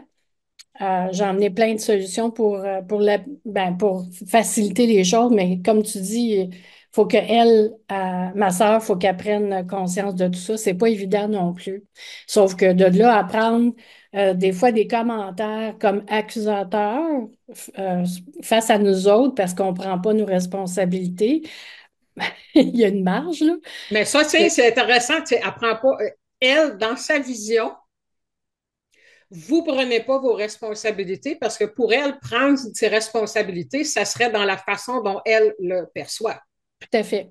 Vous autres, vous êtes peut-être prêts à prendre vos responsabilités de façon différente. Vous avez une vision différente de ce qui pourrait être bien, bien pour votre mère. Tu sais, c'est intéressant de voir. Tu sais, euh, tu sais, les gens ont dit, ben, tu ne prends pas tes responsabilités. Mais es qui pour me dire ça? Exactement tu sais, dans le fond, parce que, tu sais, je ne peux pas prendre la responsabilité parce que pour moi, être responsable, ça serait de faire ça, ça, ça, selon ma vision. Tu sais, toi, tu pourrais dire ça, mais elle, ne veut pas. C'est ça. Puis en même temps, je veux, je veux accepter son point. Ben, pas je veux accepter. Je veux entendre son point de vue, mais en même temps, j'en ai des solutions, mais je m'aperçois que c'est vraiment son choix. Ça veut s'empêtrer, façon de le dire là-dedans. Mais c'est que ça ne me tire pas, moi, vers, vers le bas, justement. Tu sais, les bons exemples que tu as donnés, c'est beaucoup ça, là, que ça nous fait vivre. Fait que, en même temps, ben, je veux, je veux garder ma joie en dedans. Comme euh, toi, tu disais, euh, Daniel, là, euh, un moment moi, ma joie, ma paix est très importante. Là, sais. C'est primordial. Là, tu sais. Carrément. C'est, on doit tous retenir ça. ça. Si on a deux mots de passe là, à retenir dans notre tête, c'est paix, premièrement, la paix, la joie, ça peut venir après, là, mais c'est la paix, le bien-être. Puis même bien-être, je trouve que l'ego s'est emparé du mot. Parce que c'est trop. Moi, je n'utilise plus ce mot-là parce que les gens, oui, ça me fait du bien, je suis bien, ouais, mais des fois, c'est le bien-être de l'ego. Là. Fait que euh, la paix, l'ego ne euh, peut, pas rentrer dans ce territoire-là. Donc, est-ce que ça me garde en paix? Qu'est-ce que quand je me couche le soir, je suis en paix? Est-ce que je suis en paix avec ce que je viens de faire là, avec ce que je viens de dire là? Donc, euh, puis la joie, ça, c'est un autre degré, c'est le fun, mais je veux dire, tu sais, la paix. Préserver, préserver notre fréquence, c'est est-ce que je me sens en paix? Sais, puis avec ce que je viens de faire, puis ce que je sens, on le sent, c'est comme de plus en plus, je parle de ceux qui cheminent, évidemment. Oui, mais on est beaucoup dans cette période-là avec tout ce qui arrive à l'externe aussi. Ça, ça, nous aide, ben, en tout cas, moi, je trouve c'est de prendre plus notre place, nous, qu'on s'est mis de côté, mais justement de récupérer qui on est vraiment. Je, je, viens d'avoir quelque chose, ça m'a inspiré ce que tu as dit, quelque chose. Tu sais, les gens, euh, souvent, ils vont dire, il arrive des choses, la vie est en train de me tester on va oublier ça. La vie n'est pas là pour dire eh, on va tester, voir. C'est comme. Mais ça demeure quand même pour moi, devant n'importe quoi que je vis dans ma vie, un moyen d'évaluer mon évolution. Mm, tout à fait. Parce que qui suis-je devant ça? Qui suis-je devant quelqu'un qui s'adresse à moi de façon euh, désagréable? Qui suis-je devant euh, un problème de véhicule qui va me coûter 3000? Qui suis-je devant, tu sais, ça me demande est-ce que c'est un test? Je n'appelle pas ça un test, là, mais en tout cas, c'est une évaluation qui se fait naturellement. Hmm. De, c'est comme si tout ce qui existe, j'ai déjà dit ça dans des formations dans le passé, portait un miroir dans ses mains. Même un chien qui fait pipi sur ton tapis. Tu sais, s'il fait pipi sur ton tapis, puis tu pognes les nerfs, tu le secoues, puis tu le frappes, il pourrait lever un miroir. Regarde, voici qui tu es devant mon comportement. Moi, je suis hmm. un chien, je ne comprends pas, je ne sais même pas pourquoi tu me frappes, je ne sais même pas ce qui se passe. Voici qui tu es moi, le miroir, je m'en sers plus comme ça, parce que quand quelqu'un dit, tu sais, l'autre, c'est ton miroir, c'est insultant des fois, tu sais. Mais en même temps, moi, je le vois pas de la même façon. Je me dis, l'autre me tend un miroir, puis me fait voir qui je suis devant. Et, tu sais, quand je fais, moi, je fais des formations avec les gens, puis je finissais souvent euh, certaines formations en disant une phrase, euh, c'était ma dernière, en finissant. Maintenant, c'est beau, on était ensemble dans notre cocon, on s'encourageait, on dit ça. Là, notre, plus grand test, si on veut, c'est serons-nous capables de demeurer qui nous sommes vraiment, qui nous voulons être quand on est entouré de ce qu'on n'est pas? Mm. Et l'ultime test, c'est là. Je veux dire, est-ce que toutes mes belles théories que je sais, comment j'agis dans la vie? Comment je bouge, comment j'agis, de quelle façon?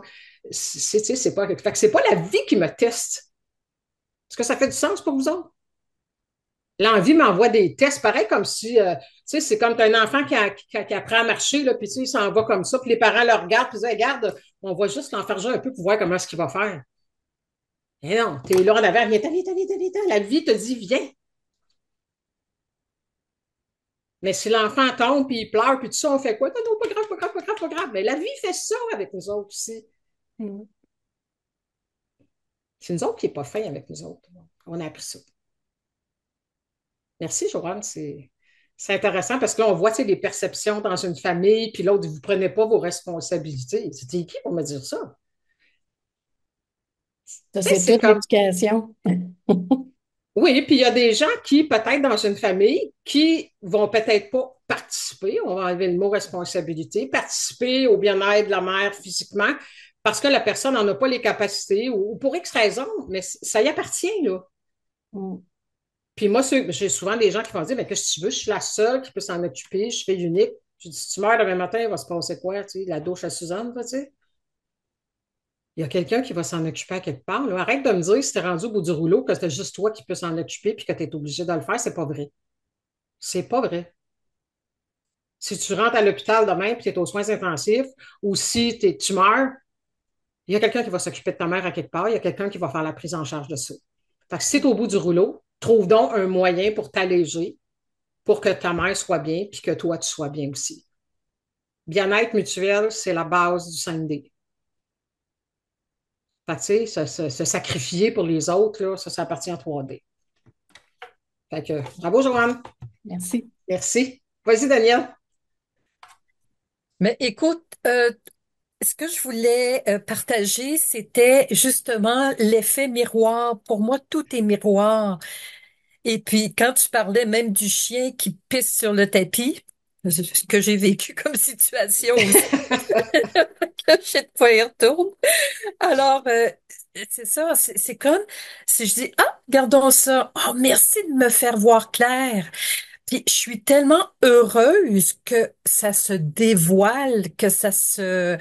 Tout simplement, j'ai juste comme l'impression d'enlever des voiles, les voiles de la peur, les voiles de la non-authenticité, la, la, la voile, c'est ça, de l'illusion, etc. Alors, oui, merci. Merci la peur, tu m'as montré telle chose. Merci. Voilà. Merci. Alors, je suis... Oui, puis oui, c'est vrai, tout est miroir, en tout cas pour moi, là. Voilà.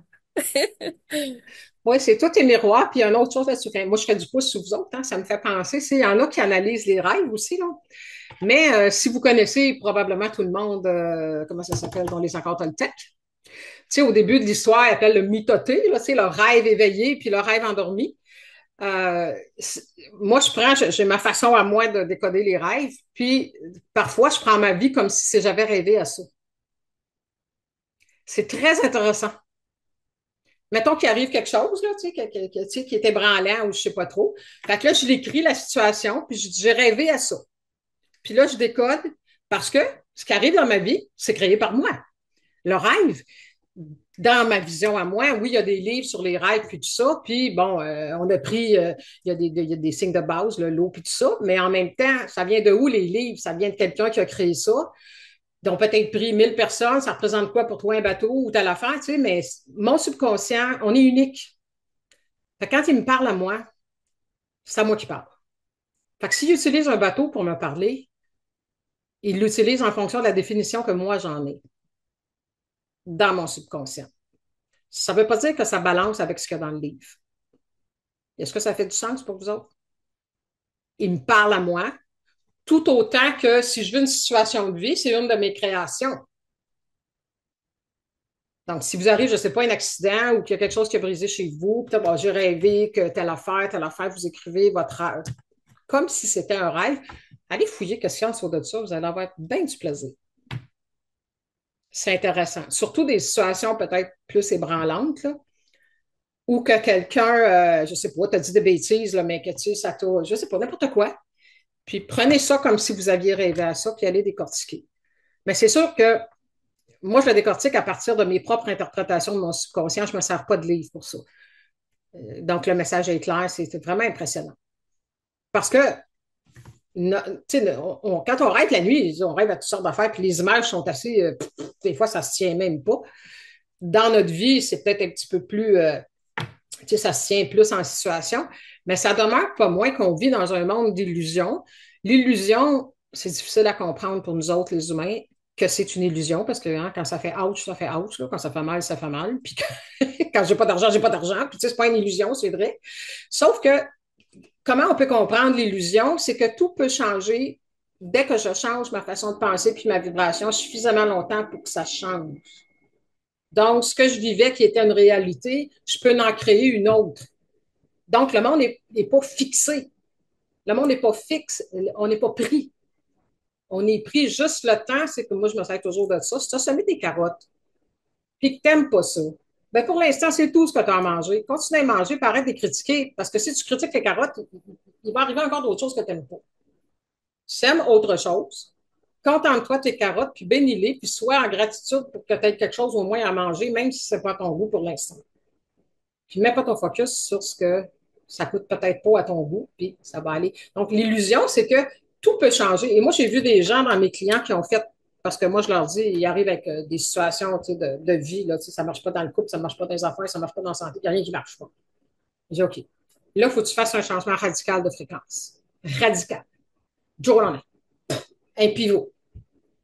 Donc, je donne des outils, puis je dis, si vraiment tu t'installes, puis même, puis je te dirais pas, je peux pas dire combien de temps que ça prend, là, c'est pas moi qui gère l'univers, mais dépendamment de la puissance que tu as en dedans, puis de l'investissement que tu vas y mettre, de, de, ton esprit, puis de te ramener quand tu dérapes, puis de faire bon, les outils que je dis, de travailler.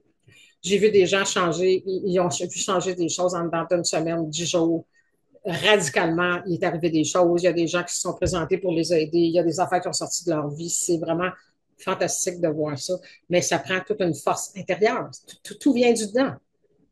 Il n'y a rien, il n'y a pas une action, euh, c'est pour ça que j'ai toujours ma balance en arrière, il n'y a pas une action extérieure qui peut contrebalancer un état toxique intérieur. Rien. Ça, je, je le répète souvent, même si, mettons, tu manques d'argent, tu dis, je vais faire trois jobs pour y arriver. Bon, premièrement, tu vas être tellement essoufflé et écœuré par maudit d'être obligé de faire ça que ça ne réglera pas ton problème. Ta fréquence va être basse, fait que ça ne marchera pas. Donc, il faut vraiment faire un travail. Il vaut mieux parfois arrêter. J'ai déjà fait faire ça, un, un monsieur en affaires, ça fait 20 quelques années, puis qui est en train de se noyer carrément. Il dit là, j'en peux comme pu, là. Puis je dis, OK, là, je dis, tu vas trouver ça bien fou, ce que je te dis. Tu vas prendre trois jours de congé. T'es-tu malade? Puis tu l'avais dit que tu allais trouver ça fou. Puis là, tu vas faire ça, tu vas travailler ta fréquence. Puis, puis il a continué. Puis au bout d'une semaine, il est revenu. Il c'est capoté ton affaire. Je dis, c'est pas mon affaire. C'est l'affaire de tout le monde. C'est toi qui as fait le travail en dedans. C'est pas moi. Moi, je t'ai juste dit comment ça marche stopper le flot de l'hémorragie. Écoute des CD, écoute des audios, écoute, écoute, puis ramène-toi chaque fois que tu débarques, puis tu vas voir les choses. L'illusion, le rêve, la réalité va se mettre à changer tranquillement. Mais nous autres, on fait quoi? On s'en va dans une direction, ça va bien, c'est cool, la vie est belle, gratitude, merci. Puis là, il t'arrive une mauvaise nouvelle. Ah, ça se peut, tu encore pas rien que ça. Fait que là, toute ton énergie, on n'est pas en section, pas en catégorie. Là on est une vibration. quand je m'en vais dans ma gratitude et toutes mes affaires, et let's go, c'est parti, la création est en train de se faire. La minute où j'arrête le processus, parce que je fais comme, oh, il n'arrivera jamais.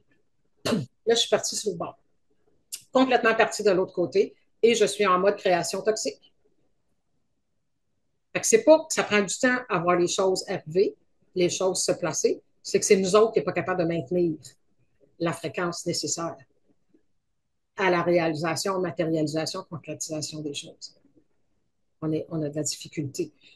pour être capable de plus en plus de maintenir, ben, commençons à nous libérer, par nous débarrasser de ce qui est excessif, tu sais, comme je suis là après le prix du gaz, euh, après le trafic, être en maudit parce que quelqu'un qui te coupe en avant, ou tu sais, là, quelqu'un qui a pilé sur ton terrain. Tu sais, quand on commence pas déjà là à enlever là, toutes les, petites affaires là, tu sais, qui, dans le fond, font sens important, ça. Euh, puis qu'il nous reste plus à gérer les plus grosses affaires, parce qu'on est en apprentissage, ben, c'est plus facile. Tu, sais. tu veux continuer? n'avais rien à dire? Jocelyne, vas-y. Ton micro est fermé, ma belle. Ben, merci premièrement pour euh, cet avant-midi. J'apprécie vraiment le partage. Euh, ce que je voulais rajouter à la conversation, c'est que le mot acceptation euh, est venu un peu en travaillant la lâcher prise. Parce que j'ai trouvé que c'est deux mots qui, qui, qui, qui se complétaient bien. Au début, j'ai lâché prise, mais je comprenais pas trop ce que ça voulait dire. J'ai appris la différence en que lâcher prise, c'est pas abandonner, accepter, comme tu dis, euh, puis pardonner aussi euh, certaines choses qui se sont passées. Ça aussi, ça l'a aidé. Mais euh, le cheminement, je trouve, je trouve ça le fun de voir les résultats aujourd'hui. En ayant lâché prise sur beaucoup de choses, accepté et tout, ça va, ça a vraiment euh, augmenté le sentiment de liberté. De liberté. Euh, puis, j'ai trouvé aussi qu'il fallait se donner du temps. Parce que quand on est dans le brouhaha de la vie, je vois aller les jeunes, mes enfants, avec les petits-enfants, l'école et le travail et tout.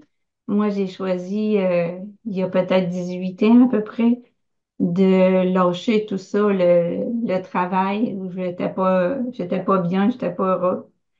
Puis de partir à mon compte, ça n'a pas été facile au début, mais j'ai travaillé sur moi-même. Puis aujourd'hui, ben, je bénéficie des, de tout ça, de plus de liberté, puis de, de temps pour pouvoir euh, apprécier aussi les, choses de la vie, les, mais que, comme Kina qui disait, c'est quand il arrive quelque chose euh, de moins le fun, si on peut dire négatif, mais euh, je me dis euh, Ah, OK, c'est beau, qu'est-ce que qu'est-ce que ça veut me dire, qu'est-ce que ça va m'apprendre?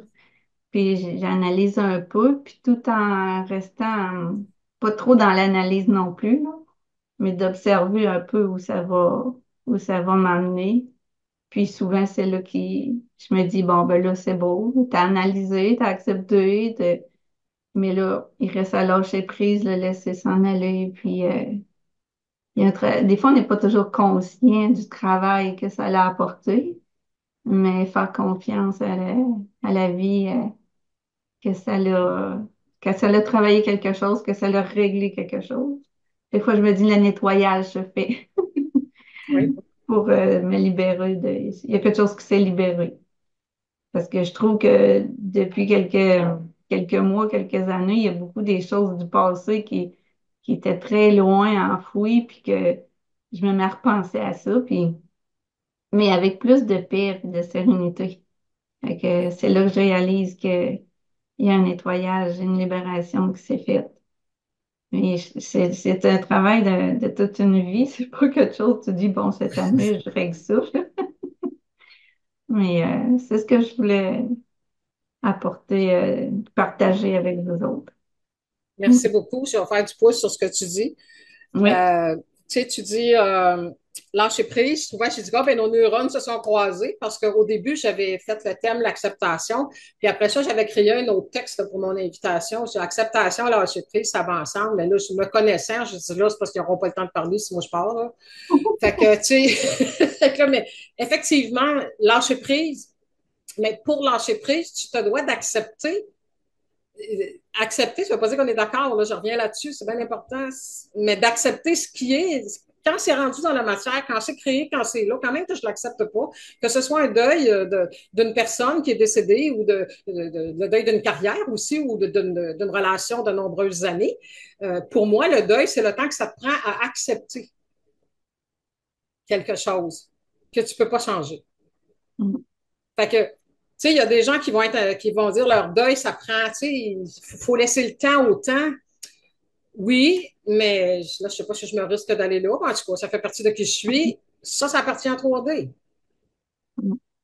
Moi, on m'a déjà dit, j'ai perdu des gens dans ma vie, ils m'ont dit, ben là, il va falloir que tu fasses ton deuil. Autrement dit, il va falloir que tu pleures un jour parce que ça va te rattraper. Ben, j'attends encore, puis c'est en 2005.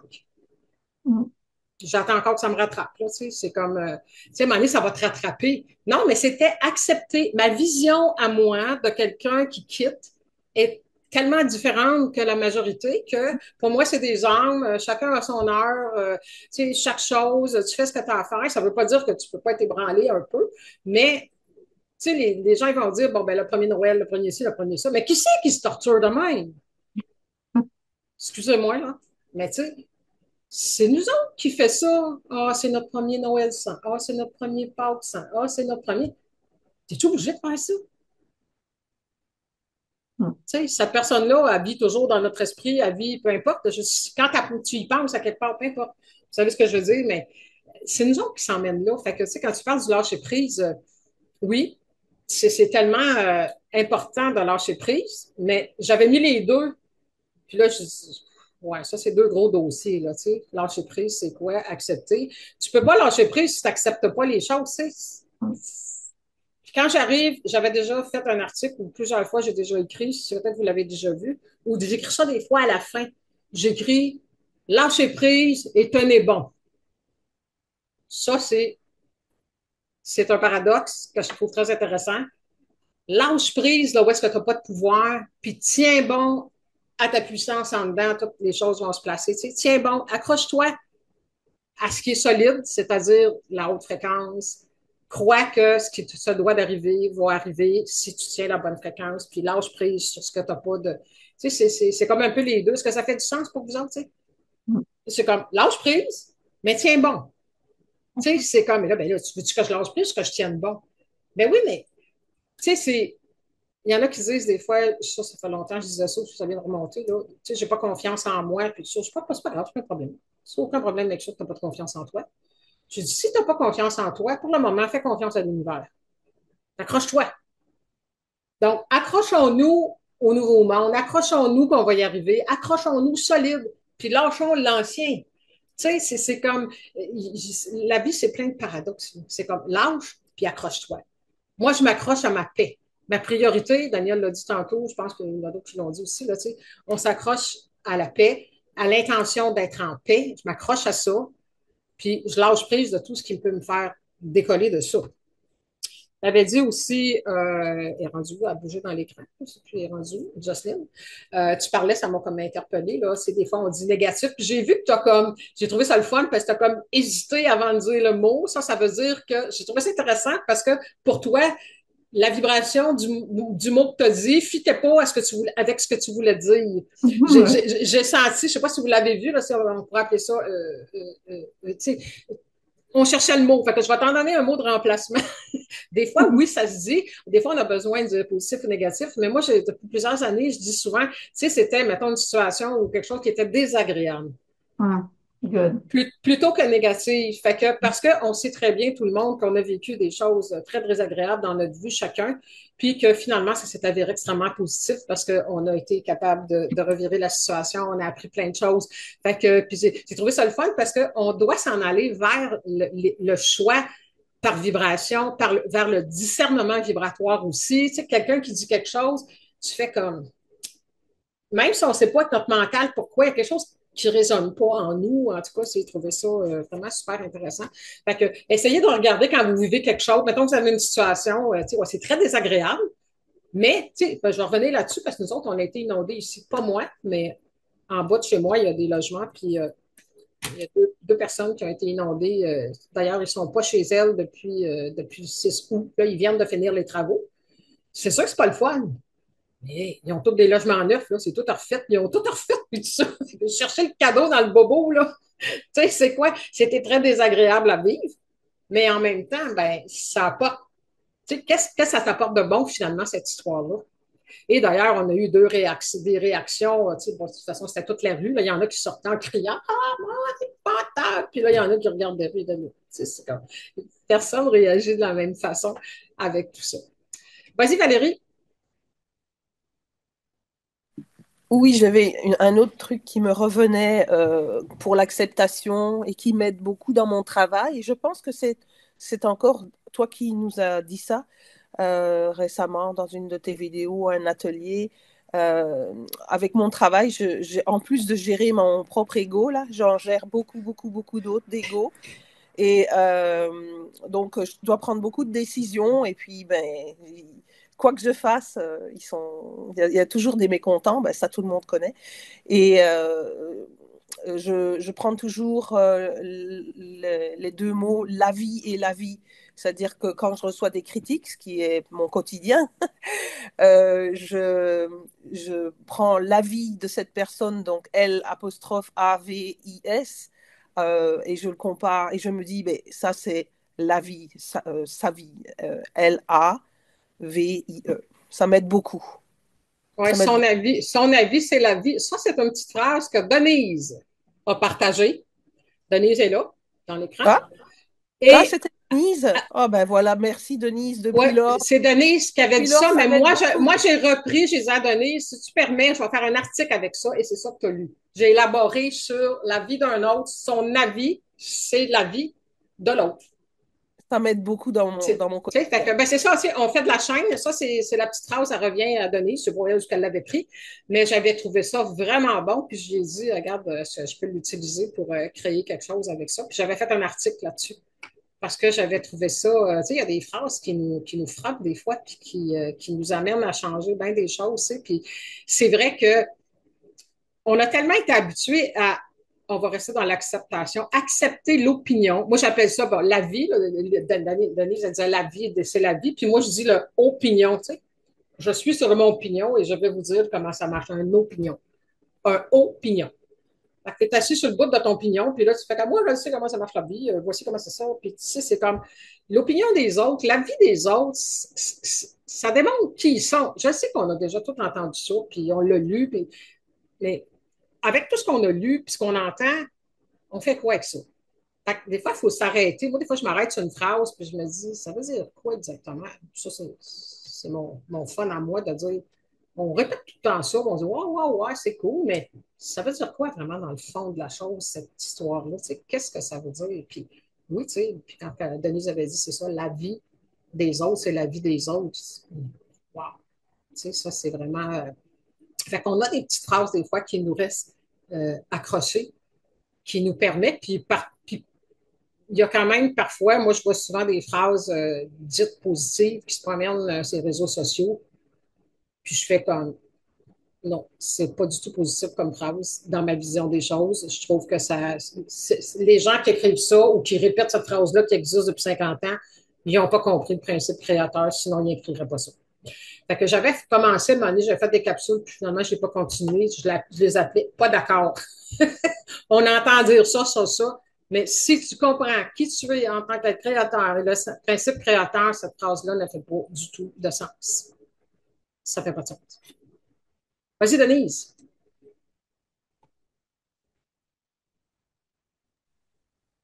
Concernant la vie des autres, souvent les opinions puis tout ça, quand on sait très bien que lorsque les gens parlent de l'autre, qui est son avis à l'autre, souvent c'est de lui-même qui parle, OK? Quand on, en tout cas, depuis que moi j'ai vu ça, cette affaire-là, euh, la vie des autres et la vie, VIE, des autres, à quelque part, je peux m'arrêter puis dire, est-ce que je vais croire son avis pour le mettre dans ma vie pour arriver à dire non? Puis depuis, depuis deux, trois semaines, il y avait un, conflit familial qui se passait. Puis là, moi, je n'étais plus capable, je n'étais plus capable, tout ça. Puis quand j'ai dit à, ma soeur, j'ai dit, écoute, tu as le droit de parler comme tu veux, tu as le droit de faire ce que tu veux, de dire ce que tu veux, c'est ton choix mais moi, j'accepte plus ça dans ma vie. Puis, si tu veux pas changer l'attitude de, de, de, de, partage entre toi et moi dans ton avis, OK? Moi, j'embarque plus là-dedans, tu sais. Puis elle me dit, écoute, on serait peut-être mieux d'arrêter. Si c'est ce que tu veux, c'est correct parce que moi, j'accepte plus ça. Puis à partir de là, j'ai plus de choses. c'est ça qui a permis de dire, la vie des autres, c'est dans leur vie à eux c'est pas dans ma vie à moi. J'ai le droit d'accepter, puis j'accepte de ne plus me faire parler comme ça. J'accepte de ne plus me faire confronter comme ça.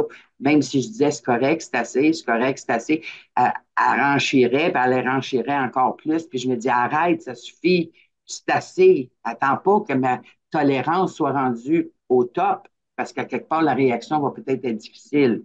Moi, je te dis simplement, ça suffit. C'est assez. Tu sais?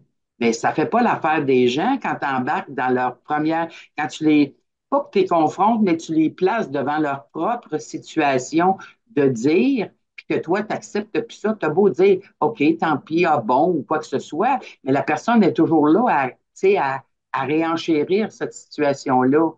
Puis à partir de là, j'ai dit, écoute, tu ne fais plus partie de ma vie tant et aussi longtemps que ce comportement-là va être là. Si tu es prête à le changer, OK. Si tu n'es pas prête à le changer, ça s'arrête là. Puis j'avais dit la même chose avec mon père. Tu as le droit de pas changer d'avis. Tu as le droit de pas. Mais moi, mon avis, c'est ça, puis tu vis chez moi, puis moi, mon intention, c'est comme ça.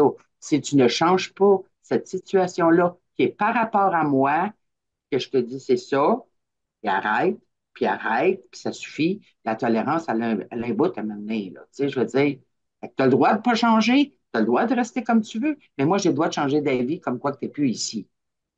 Ou que tu ne me parles plus de façon à ce que ça soit comme ça. C'est juste de prendre mon besoin puis d'apprendre ma situation de, parce que j'ai toujours été la première de famille, il faut que je montre l'exemple, comme nos parents disaient, puis tout ça. Mais là, la première de famille, elle a son voyage. Ça veut dire, à quelque part, là, c'est assez. Je suis pas un modèle, je vis la même chose que les autres, mais il m'avait mis beaucoup de responsabilités parce que la mère est plus là, le père est plus là, donc c'est moi qui devenais la mère. Je disais non, je suis pas votre mère, je suis votre sœur la situation, moi, j'accepte ça, j'accepte pas ça, j'accepte ça, j'accepte pas ça. Si vous êtes d'accord, il n'y a pas de problème. L'accueil est là. Si vous n'êtes pas d'accord, c'est correct comme ça aussi. J'accepte. Tu disais tantôt, bien, c'est riche, riche, riche, riche, qu'est-ce que tu nous racontes là. Euh, tu sais, dans le fond, premièrement, quand tu as dit, euh, tu, as mis que là, il fallait que ça arrête, elle, elle t'a répondu, ben là, il faudrait mieux qu'on arrête. Ben, moi, j'ai entendu une phrase, puis c'était dans un film la semaine passée ou l'autre, puis ça a été comme quand le problème s'en va de lui-même, coupe après. Là. déjà là, ça, c'est une chose. Tu as parlé aussi de tolérance. Tu dis, euh, tu sais, pousse pas mon, mon, degré de tolérance. Et ça, c'est nous qui détermine le degré de tolérance. C'est nous qui, qui détermine, on tolère, on tolère, mais l'autre personne, elle va toujours aller aussi loin. Puis des fois, c'est pas toujours conscient. Là. Tu sais, il, y a des gens qui vont, il y a des gens qui vont très loin, c'est leur personnalité, ils sont pas, ils font pas exprès nécessairement, mais les gens vont toujours aller aussi loin qu'on va les laisser aller mm-hmm. parce qu'ils n'ont pas vu qu'il y avait une limite à quelque part. Ils n'ont pas vu était où la ligne. Qu'est-ce qu'on peut blâmer l'autre? On n'a personne à blâmer, on a juste à observer. Est-ce que j'ai mis mes limites à quelque part? ou si la limite a été mise tellement loin que les gens ont pris pour acquis qu'ils pouvaient aller jusque-là, qu'ils pouvaient se permettre. C'est drôle, euh, Denis, j'ai bougé, je ne sais plus t'es où, t'es rendu en bas. Euh, je ne sais pas si c'était la semaine passée, c'est arrivé, mais j'étais dans la même énergie que toi. Deux personnes qui ont agi ou parlé de façon, à mes yeux, inacceptable. J'ai dit, je n'accepte pas de me faire parler de cette façon-là, donc la collaboration va terminer. Moi, mais c'est parce que non. C'est non. Tu sais, c'est comme, c'est allé trop loin. Et même, j'ai eu d'autres choses. C'était pour des travaux là, qui se passaient suite à toutes ces affaires-là. Puis on me donne un rendez-vous. Moi, pour être conciliante, tu sais, quand tu es en travaux, puis tout ça, tu essaies de les aider. Moi, je travaille quand même à la maison. Fait qu'on me dit, ah, ben là, les ouvriers vont être là demain à 9 h. J'ai annulé un rendez-vous important parce que je me disais, tu sais, je vais être je ne veux pas bloquer tout le processus de réparation. Ils sont arrivés à 2 h l'après-midi. Là, la madame, elle avait un miroir d'en face. Je leur disais pas qu'il y avait un petit peu de boucan qui sortait parce que moi, le manque de respect de, de, tu sais, de, j'ai annulé un rendez-vous pour être disponible pour ouvrir la porte et laisser rentrer, puis ils sont arrivés à deux heures, ça n'a pas passé. Fait qu'il a fallu que je, je décompresse un peu. J'ai monté, je l'avoue, je me confesse. Puis là, je me suis dit, bon, arrête, c'est comme. Là, je fais quoi avec ça? Fait que j'ai écrit à qui de droit, j'ai dit, là, je n'accepte plus ça, j'ai obligé d'annuler du, j'ai été obligée d'annuler un rendez-vous. Je ne sais pas, j'ai été obligée, j'ai choisi d'annuler pour vous rendre service.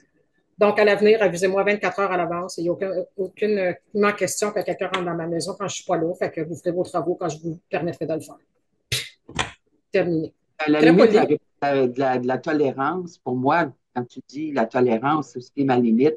Je pense que la limite que j'avais dans cette situation-là était la limite de façon à la responsabilisation du rôle de la première fille, tu comprends? Du rôle de la, de, du remplacement. Puis, tu sais, bon, l'ego arrive et dit, ouais, c'est moi qui, pourquoi c'est moi qui bosse parce que je suis pas boss de rien, là. Mais à quelque part, c'est, moi, je pense que cette tolérance-là n'avait pas été dit dans la limitation, dans, dans cette limite-là, de façon à garder mon rôle. Puis là, mon rôle, je ne le veux plus. Je veux dire, dans la vieille, dans la vieille situation familiale, je ne veux plus, ce rôle-là, parce que, bon, on le sait, les, jeux de rôle familial, tu sais, la première, c'est ici, deuxième, troisième, quatrième, c'est comme ça. Mais il reste quand même qu'on on me l'avait imposé par le choix que j'avais fait de mon incarnation. Tu sais, on me l'a imposé. J'aurais pu dire non tout de suite quand je viens au monde en disant moi, j'embarque pas dans cette situation-là, puis ma limite aurait été déjà dit. Mais depuis tout ce temps-là, où est-ce que je tolérais la limite que je m'étais mise, OK? Là, ma limite est finie. Ça s'arrête là. Je ne sais pas comment tu vois, parce que là, moi, vibratoirement, j'ai une distorsion avec ce que tu dis. Euh, quand tu dis on m'a imposé ce rôle-là, il n'y a personne qui t'impose rien. C'est que tu portes probablement, de toute façon, rien qu'à te regarder, on voit bien qu'on voit bien, euh, que tu portes quand même un rôle d'autorité, de responsabilité, peut-être une reine dans une autre vie, ou je ne sais pas trop quoi, et portant, croyant que tu es responsable de tout et de rien et de tout euh, depuis des vies, tu continues ça. Ben, il n'y a personne qui t'a imposé ça dans ton incarnation. C'est un choix. C'est quelque chose que tu, que tu portes en toi qui fait que tu te retrouves la première de famille qui, à qui on va mettre les responsabilités. Oui, on te les dépose, là, mais je veux dire, on est ben, victime. C'est dans ce sens-là que je veux dire aussi, parce que la décision avait été prise, parce que moi, j'ai fait, j'ai fait des, du rebirth, un paquet d'affaires comme ça, puis la décision a été prise à quatre mois de conception dans le ventre de ma mère. Moi, je vais m'arranger avec ça, je vais prendre la responsabilité familiale et ça a été pris là, la décision. OK?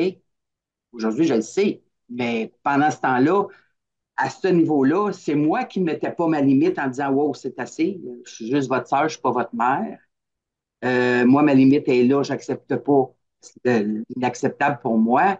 Mais j'ai pris conscience justement par le fait qui est arrivé avec le fait qu'il est arrivé avec ma soeur, là, j'ai pris conscience de dire, écoute, cette, responsabilité-là, j'en veux plus.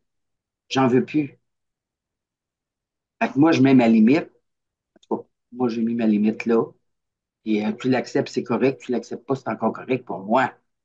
Oui, c'est ça. C'est comme, on ne peut pas euh, obliger les gens, on peut pas, tu peux pas obliger quelqu'un à changer, mais en même temps, tu dis, si ça continue comme ça, moi, c'est non.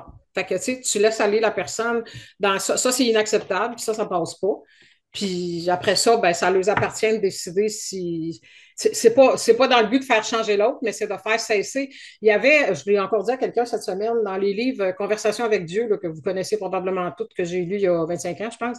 Il disait, puis ça, ça m'avait frappé, hein, les phrases qui frappent, là, tu sais, euh, qui disait si, si quelqu'un, si tu laisses quelqu'un abuser, peu importe la façon. Qu'est-ce qu'il apprend? Rien. Si, il apprend que c'est comme ça que ça marche dans la vie, on abuse les gens pour avoir ce qu'on veut. Si tu fais cesser l'abus, tu protèges, tu te protèges toi, donc tu n'es plus victime de l'abus. Mm-hmm. Puis cette personne-là va avoir une occasion de comprendre qu'elle a peut-être dépassé les bornes ou à comprendre rien pour avoir aller abuser quelqu'un d'autre. Mm-hmm. Parce que il y a des gens qui vont abuser, euh, qui vont dire plein d'affaires, tu leur dis j'accepte pas ça, puis ils vont continuer en disant hey, elle est niaiseuse, j'ai pas dit ce que j'ai dit, c'est pas si grave que c'est puis, puis, ils vont continuer dans leur affaire, puis ils, ne se voient pas. Ils, ne verront pas dans ta décision de dire que je suis désolée, mais on va arrêter ça là. Ils seront pas capables de voir pourquoi tu fais ça. Ils comprendront pas nécessairement pour quelle raison tu fais ça. Non, que vous voyez ce que je veux dire? Il ne voit pas tout le temps. La personne à qui tu dis ça, elle va dire ben, ben, ben, puis franchement, elle est égoïste, hein? Elle est égoïste, hein? Elle est égoïste, là, elle ci, elle ça. Puis ils ne vont pas comprendre que tu es en train, que, que, eux, ils ont un comportement inadéquat.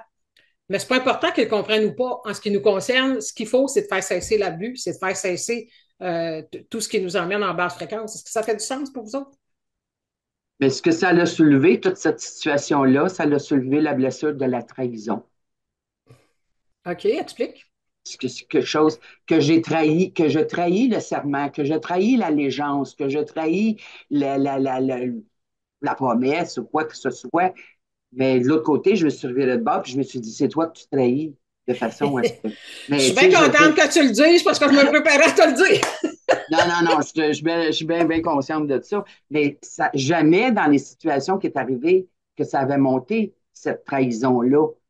que ça, ça a été dans d'autres vies ou que ça a été dans cette vie-ci.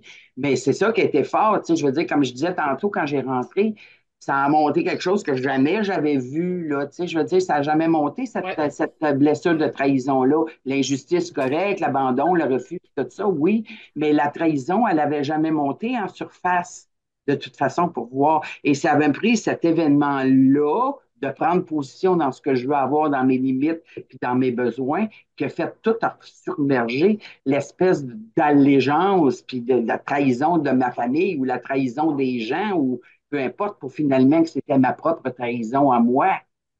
Ouais. ça On ça est vraiment là-dedans, comme tu dis, ça remonte, on enlève une couche, on enlève un voile, il en remonte un autre. On enlève, tu sais, c'est- tout le temps comme ça. Puis, euh, toutes les, puis c'est le fun parce que, ben, c'est le fun, en tout cas, c'est peut-être pas le bon mot, mais en tout cas, tu l'as vu. Parce que, puis ça, j'en ai parlé souvent, là, on connaît, tu sais, les grandes blessures, l'abandon, en tout cas, tu sais, euh, bon, tout, tout, tout ce qui peut exister. Trahi, rejeté, mais si on est vraiment, on va vraiment en profondeur dans tout ça, il n'y a personne qui peut nous rejeter si on n'ouvre pas la porte. Il n'y a personne qui peut nous trahir si on n'ouvre pas la porte. La première trahison se fait de moi à moi. Le premier rejet se fait de moi à moi. Si je rejette ce que je ressens puis que je bouge autrement, c'est moi qui s'est rejeté, c'est moi qui s'abandonne, c'est moi qui se trahit, c'est moi qui est injuste envers moi-même. Et c'est toujours avec notre propre intention, de toute façon. Pourquoi tu fais les choses? C'est quoi la, ra- la raison en arrière qui est placée devant l'intention que tu, fais, que ce soit un service, que ce soit un non-service, que ce soit n'importe quoi, de toute façon? Quelle est ton intention d'agir, de ta réaction ou de ton action ou de ta décision, peu importe? Il y a toujours une intention. Elle peut être agréable comme elle peut être très désagréable, ton intention. Ou inconsciente aussi. C'est ça, c'est ça, inconscient. C'est comme, euh, tu sais, c'est ça. Fait que, tu sais, quand on dit que tout part de nous, il faut vraiment analyser cette phrase-là dans la profondeur de ce sens-là. Parce que, euh, tu sais, c'est pas moi qui crée toutes les affaires, puis que, tu sais, je, je peux me lancer plein, me faire vivre plein de choses, mais j'ai quand même une responsabilité vibratoire à quelque part de ce que je laisse euh, rentrer en dedans de moi, ce que je dis, ce que je fais, mais ce que j'accepte aussi dans ma vie. On est dans l'acceptation. Qu'est-ce que j'ai accepté? C'est moi qui ai laissé qui ai rentrer telle ou telle personne dans ma vie. Puis pour la laisser rentrer, exemple, que ce soit par incarnation et par, par contrat d'âme, parce que là, on n'en parlera pas là-dedans, mais il y a quand même des contrats d'âme de vie passée, des gens qui se retrouvent sur notre chemin. On a accepté de les rencontrer à nouveau pour régler définitivement. Et régler ne veut pas dire s'entendre. Ça, c'est la 3D qui dit ça. Régler, souvent, c'est de reprendre chacun son pouvoir, arrêter de se sentir coupable, puis reprendre des routes séparées. C'est pour ça qu'il y a énormément, en cette époque-ci, de séparation et que c'est permis et tout ça, parce que ça nous permet de libérer beaucoup de d'âme puis de- d'en régler plusieurs dans une même vie. Ça ne veut pas dire que tout le monde doit passer par là, mais le fait de, tu sais, je t'aimerai toute ma vie, ça, c'est l'Église qui a inventé ça, juste pour nous tenir en basse fréquence. On s'entend que c'est pas dit que tu peux aimer une personne toute ta vie. Si cette personne-là change ou se transforme en autre chose, euh, tu sais, ça peut, ou, ou soi-même, peu importe les raisons. Je pense que vous savez euh, ce que je veux dire à partir de ça. Mais, tu sais, la vie, ça se vit un instant à la fois, là. Puis Mais moi, je suis. tout le temps que je suis responsable à 100% de tout ce qui se passe dans ma vie. Je suis pas coupable tant et aussi longtemps que je suis inconsciente.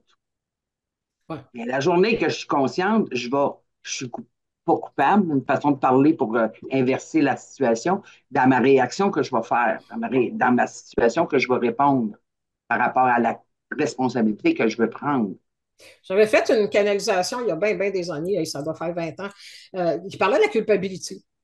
Puis il disait que, premièrement, penser à une paire de ciseaux, j'avais trouvé ça le fun, tu sais, que es coupé en deux choses, et que, il dit, selon votre système de, justice, en tout cas, si on peut s'appeler ça comme ça, euh, une personne est, vue comme non coupable tant que c'est pas prouvé qu'elle était coupable, puis pour la nommer coupable, il faut qu'on ait été capable de prouver qu'elle avait voulu volontairement nuire à quelqu'un. Parce que, tu sais, il y a des gens qui, tu sais, par accident, euh, légitime défense, ils vont dire elle n'est pas coupable parce que, tu sais, prémédité, vous savez ce que je veux dire? Donc, même si tu fais du tort à quelqu'un sans te rendre compte, comme tu dis dans l'inconscience, mais ton intention que tu parlais tantôt n'était pas d'être, tu vois, hey, je m'en tiens en faire toute une, tu sais, ben, la personne n'est pas nécessairement est responsable, peut-être de, tout ce qu'elle a déclenché, mais de la dire qu'elle est coupable, tu sais, c'est un mot qui est très, très lourd. C'est un des, de la culpabilité, c'est une des énergies les plus lourdes qui peut exister. Puis, on nous a éduqués à se sentir coupable de tout puis de rien. Mais moi, coupable, je l'entends de façon à ma réponse. Dépendant de la réponse que je vais faire, que je vais donner. Tu sais, je suis coupable. En tout cas, c'est un grand mot, moi, avec, là. J'ai de la misère un petit peu avec Ouais, ça. ça. Mais de la façon de la culpabilité que je voyais, c'est la, la culpabilité de le faire avec l'intention, même si je sais que ça peut être désagréable pour l'autre. Comprends-tu ce que je veux dire? C'est fait par, c'est fait par une intention. Mais que ça peut être une intention de vengeance, une intention de colère, une intention de whatever, ou de, de, de- de pouvoir sauver ou quoi que ce soit dans toutes nos actions qu'on peut pas poser. Mais pas coupable, moi, je l'entends de façon à dire, je suis pas coupable parce que je suis ignorante, je le sais pas. Je le sais pas, je le comprends pas. Tu comprends? C'est dans ce sens-là que moi, je disais coupable ou pas coupable. Quand je dis, on est responsable à 100 de tout ce qui nous arrive, mais je suis pas coupable par ignorance, par inconscience, que je ne Ouais, sais pas. ça. Ça veut dire que je ne sais pas seulement. C'est pas parce que je suis niaiseuse, mais je ne sais pas. Je suis ignorante à ce niveau-là. Ça, je ne suis pas coupable. Mais la journée que je vais le faire avec une pensée, une réflexion, une intention dans ma réaction, là, je, je vais l'avoir, la situation de dire c'est de ma faute. Tu comprends ce que je veux dire? C'est difficile de mettre des mots dans cette Ouais, c'est ça. on s'en va sur un terrain glissant, le responsable, coupable. On pourrait débattre sur le mot pendant deux heures. là. Ben oui, c'est ça. C'est ça la culpabilité, parce que euh, il y a beaucoup de gens qui vivent dans l'inconscience, qui font n'importe quoi, puis ils disent que ça ne nous appartient pas. Fait C'est que, ça. en même temps, tu es quand même toujours responsable, qui est le meilleur mot, que tout ce que tu fais va te revenir de toute façon. C'est. Euh, c'est, comme même si on n'est pas conscient qu'on fait du tort à quelqu'un, euh, je veux dire, ça fait partie de notre bagage. On a fait du tort à quelqu'un, on est quand même responsable. Coupable, c'est un grand, grand mot, là. On Ah est ouais. mieux de, responsable, c'est mieux. Mais euh, en même temps, moi, j'ai toujours dit, tu dis ce que tu as à dire à quelqu'un, tu peux dire ça dans une douce fermeté. Ça fait 25 ans que je dis ça. J'aime bien la douce fermeté parce qu'à un moment donné, il faut que tu mettes ton pied à terre. Là. Il y a des gens qui, tu sais, il faut que tu leur dises, OK, on arrête ça là. là. Sais, moi, ça fait partie, de- on va arrêter ça là, là parce qu'on s'en va sur des terrains que ça va, tu sais, ça, ça se passera pas bien. Fait qu'on va s'arrêter ça là. Il faut être capable, de, des fois, d'aller dans une douce fermeté puis de dire, de, de mettre puis il y a des gens qui vont jouer, ça m'est déjà arrivé. Quelqu'un me dit Bon, ben là, tu es agressif. Je dis Non, si tu veux voir Suzanne agressive, je peux te montrer ça, mais ça ne me tente pas de me faire vivre ça. Mhm. Mais je, te, je suis affirmée et je t'affirme que ça suffit. On va arrêter ça là. De toute façon, on ne s'entend pas, on ne pense pas de la même façon. Tu peux penser comme tu veux. Moi, je ne partage pas ton opinion. Fait que, on va arrêter la discussion là-dessus. Mais si tu es avec une en relation avec une personne, que ce, ce scénario-là se reproduit régulièrement, mais regarde avec qui tu te tiens, là. Tu si tu es d'accord sur rien du tout dans tout ce que tu fais, puis t'es pas, ben, ça devient que c'est une lutte constante, puis tu es tout le temps en train de t'ostiner avec tes proches, avec ta famille, avec ton conjoint, avec tout le monde. C'est essoufflant, c'est vidant. Puis il faut s'enlever de là. De toute façon, on est rendu là. On est, euh, je ne sais pas qui parlait, peut-être Denise tantôt, je ne sais pas, le, le monde relationnel. Euh, on est rendu là. Non, je pense que c'est Jocelyne. Oh, je ne sais plus. Euh, mais tu sais, les rôles, les moi. rôles qu'on se donne. Ah, c'est toi, puis je pense que Ben, Joanne la aussi en a légence parlé. des rôles. les rôles, tu sais, la matrice 3D, on nous a attribué des rôles. Tu es une mère, tu es une fille, tu es une sœur, tu es ci, tu es ça. Puis là, tu, dois te, tu te dois de jouer avec les ficelles qui t'ont mis. Peu importe ce que ça va te faire subir et vivre dans ta vie, jusqu'à y laisser ta santé. Donc ça, ça fait partie de la 3D. Ça n'a rien à voir avec la 5D. Ça n'a rien à voir avec l'amour. C'est dans le contrôle et la domination de soi-même ou des autres, pensant pour la, sauver la sacro-sainte famille terrestre que tu te dois de te plier à toutes les exigences puis d'endurer. Fait que ça, c'est extrêmement dangereux pour la santé. De un, et ça n'a rien à voir avec une énergie élevée. Je ne sais pas si ça vous parle. J'avais déjà fait des, on a déjà parlé de ça, là, la famille natale. Vous pouvez aller voir, le vidéo, il est encore sur YouTube. J'avais tout expliqué, euh, je pense, la, les contrebandes, la famille natale, puis j'avais un autre sujet qu'on avait fait. Ça avait été quand même très, très intéressant là, pour euh, les gens. Puis euh, la famille natale, c'est des contrebandes des autres vies, puis on est là pour s'en libérer. Fait que penser qu'il faut endurer, c'est une grande, grande erreur. C'est très, très dangereux pour la vibration, puis la fréquence, puis tout ça. Fait que, est, euh... Est-ce qu'il y en a qui ont des choses à rajouter là-dessus? Merci. Oui. Marie-Noël, allô? Bonjour, euh, je suis une amie en passant de, de Magali qui vous suit oui. beaucoup. C'est ça. Ben, en fait, euh, je suis un peu gênée de parler aujourd'hui, mais ça, c'est la première fois que je viens à une, conférence comme ça. Mais euh, j'ai fait du cheminement sans vous avoir rencontré de mon côté. Je me suis libérée récemment de la relation avec mon grand frère. Euh, je l'ai libéré de notre contrat frère et, et sœur par écrit euh, parce qu'il n'a pas été une personne bienveillante dans, ma vie. Mais j'ai beaucoup de misère à accepter ce, ce que j'ai ce que j'ai choisi. J'ai beaucoup de la difficulté à l'accepter parce que j'ai comme le, le rôle dans la famille de celle qui a brisé la famille natale. Ouais, c'est ça. Fait que j'avais lu vos textes, j'ai, mais ça, c'est comme si je porte cette vibration-là de, justement, comme on parlait tantôt de culpabilité, d'avoir brisé, puis comme ma mère me dit, a dit, mais à un moment donné, tu vas lui pardonner, tu vas revenir, tu vas revenir sur ta décision. J'ai dit non, maman. J'ai dit, tu, tu comprends pas ça. J'ai dit non, je ne reviendrai pas sur ma, décision. Je vais peut-être revenir, mais ça sera mon choix. Mais j'ai dit, je vais pas m'imposer des fêtes de famille, de le voir. Euh, puis là, justement, c'était la fête de mon neveu, de son fils. J'ai choisi de pas l'appeler. Euh, son fils pour lui souhaiter bonne fête. Puis ça aussi, je me sentais très coupable, mais c'est parce que je me disais, si je l'appelle, je vais tomber sur mon grand frère, c'est sûr. Puis mes enfants, je leur ai dit, vous avez le choix de vous l'appeler, tu sais, pour lui souhaiter bonne fête, parce que j'ai des jeunes enfants. Et mes enfants, ils ont dit, non, maman, on n'a rien à lui. Il n'y avait pas le Fait que j'ai dit, bon, OK. Mais c'est tout ça, tu sais, que je trouve très difficile parce que ma mère, je, elle, j'ai pas coupé les liens, mais je lui ai dit.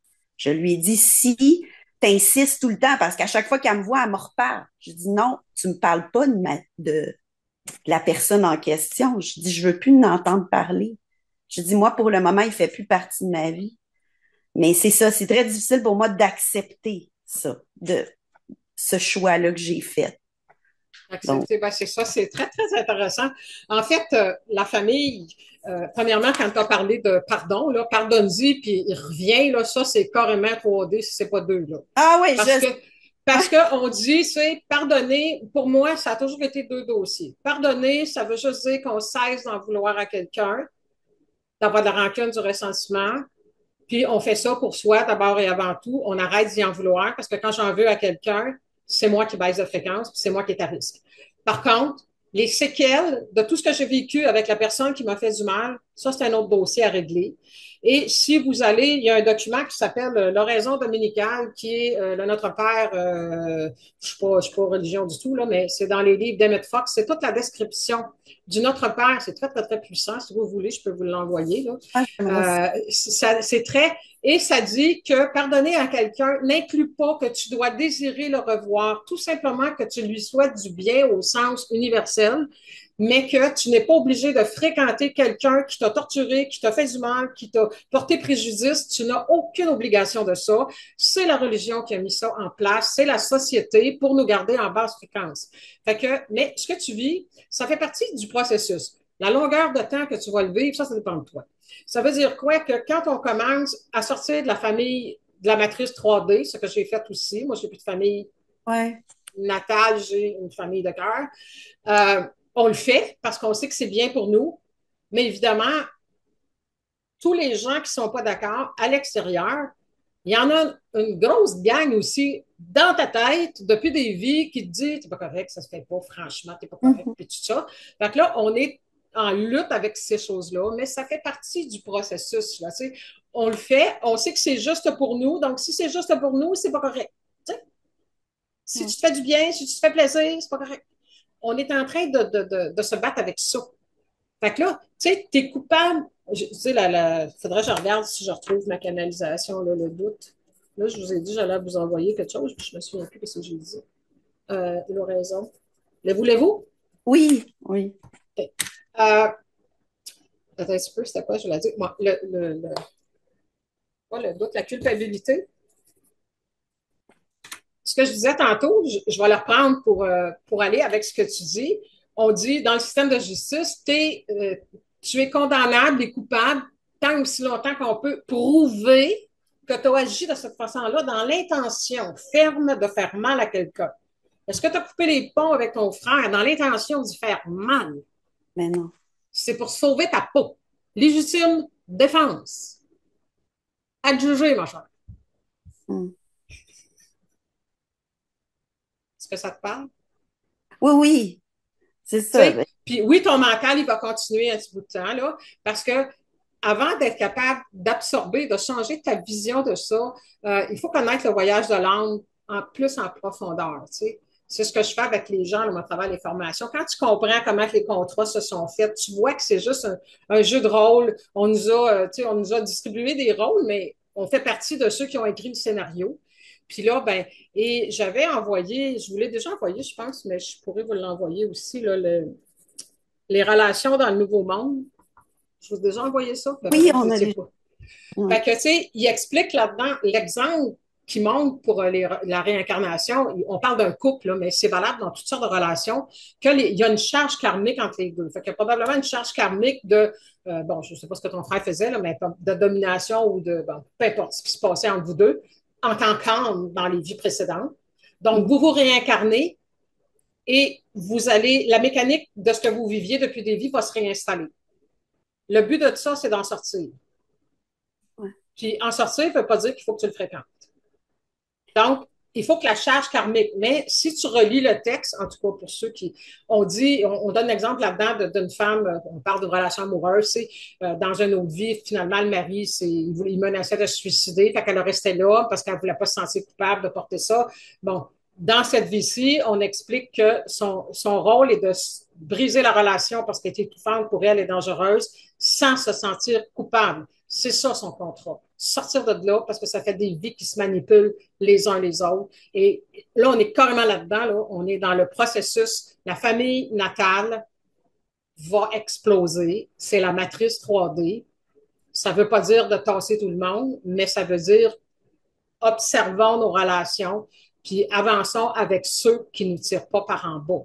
Tu sais, tu peux arriver à ne pas être d'accord avec quelqu'un à l'occasion, mais quand tu es toujours obligé d'accepter ce qui n'est pas d'accord avec toi, de plier, comme peut-être, je n'ai pas compris, je pense que tu disais ta mère qui dit, ben, tu devrais de, ta mère n'a pas à se mêler de ça non plus. Ça ne lui concerne pas ce que tu devrais faire en fonction de ce que tu es. Est-ce que tu retourneras un jour? On n'en sait rien. Ben, mais pour la, tu sais, c'est pas, il n'y a pas d'obligation, puis il n'y a pas, tu devrais pas, c'est toi. Comment tu te sens là-dedans? Puis, je vais vous donner un autre exemple. J'ai une dame qui venait me voir il y a bien des années, j'étais à Mascouche, c'était en 2003. Puis elle était aux prises avec sa mère, elle. Puis tu sais, c'était tout le temps, sa mère était très, très dominante et contrôlante. Puis, euh, et, puis là, elle était rendue, la, dame qui venait me voir, elle était rendue qu'elle faisait de l'as. Là, elle était rendue avec l'anémie, elle était rendue avec plein de problèmes de santé parce qu'elle vivait, c'était très intense les émotions qu'elle vivait dans cette relation-là. Puis, oui, mais je dis, est-ce que, est-ce que tu as dit, est-ce que, parce qu'à un moment donné, premièrement, dire, dire, dire, à un moment il faut agir. Ça ne marche plus. Tu dis à quelqu'un d'arrêter, elle n'arrêtera pas, cette personne-là. À un moment c'est toi, il faut qu'il arrête dire d'arrêter. Il faut que tu dises, on arrête ça là, comme Denis, Denise l'a fait tantôt. Donc, après ça, cette personne-là, je lui dis, je vais t'expliquer ce que tu fais. Je lui dis, là, tu viens me voir, à toutes les deux semaines. Là, tu me racontes tout ce que tu as vécu, tu es à bout de souffle, tu me vomis tout ça. Puis moi, je t'explique. Regarde, comme ci, comme ci, comme ça, travaille là-dessus, travaille là-dessus. Ça veut dire que tu arrives ici, tu as le dos en sang parce que tu as été fouetté par ta mère. Fait que là, moi, je nettoie tout ça, je te mets des pansements, puis je te dis, tu sais, tu mettras de la crème, tu feras ça. Puis là, tu retournes chez vous, tu prends le fouet, tu le donnes à ta mère, tu dis, envoie encore un petit peu, Suzanne, on va manger ça dans deux semaines. Je m'en arrête d'y mettre le fouet dans les mains. C'est toi. Tu sais, fait que là, il y a un fouet dans ta tête. Puis ta mère en a un dans les mains aussi, là. Mais en tout cas, tu sais, si toi, tu abandonnes la partie de toi qui te condamne, les autres n'auront plus de pouvoir là-dessus. Mm. Accueille, accepte que tu fais ça. Premièrement, moi, je pense que peu importe, je ne sais même pas ce qui se passait dans la relation, puis je n'ai même pas besoin de le savoir. Si tu as pris la décision que c'était assez parce que tu sentais que ça te coulait, c'est la bonne décision. Puis peu importe, il n'y a pas personne qui va dire que c'est bon, c'est pas bon. Si tu as décidé de faire ça, tu as tes raisons. Donc, c'est pour sauver ta peau, puis d'être mieux. Ça concerne personne. Hein? La vie des autres, c'est la vie des autres. Puis à quelque part, c'est, puis je suis très consciente que c'est pas parce que je te le dis que tu vas te sentir toute légère là, euh, après la rencontre. Sauf que tu, tu vas travailler là-dessus. Tu es devant un défi, c'est intéressant que tu nous partages, merci en même temps, parce que plein de gens actuellement sont pris là-dedans. Plein, plein, plein. Puis je t'inviterai à aller voir, j'ai fait c'était quoi la famille natale, où je vous mettrai le lien peut-être, là, de, de, de revoir ça. J'ai contrat d'angle, la famille natale, puis j'avais un autre terme, mais je me souviens plus c'est quoi, là, tout dans la même rencontre. C'était une rencontre comme celle-là, je pense. là. Je pense. J'avais expliqué des choses, puis après ça, les gens partageaient, je ne me souviens plus trop. Et ça pourrait peut-être t'aider à. euh, tu sais, dans le fond, c'est notre vision qu'on doit. Euh, qu'on doit partager, qu'on doit changer, c'est-à-dire pour en arriver à s'alléger intérieurement. Parce que là, c'est sûr que ta mère s'impose aussi. Vas-y. Je veux juste poser une question parce que aussi le l'enjeu, c'est que ça a commencé, les, c'est de l'abus, il y a eu de l'abus sexuel. Ça a commencé, il était lui-même enfant.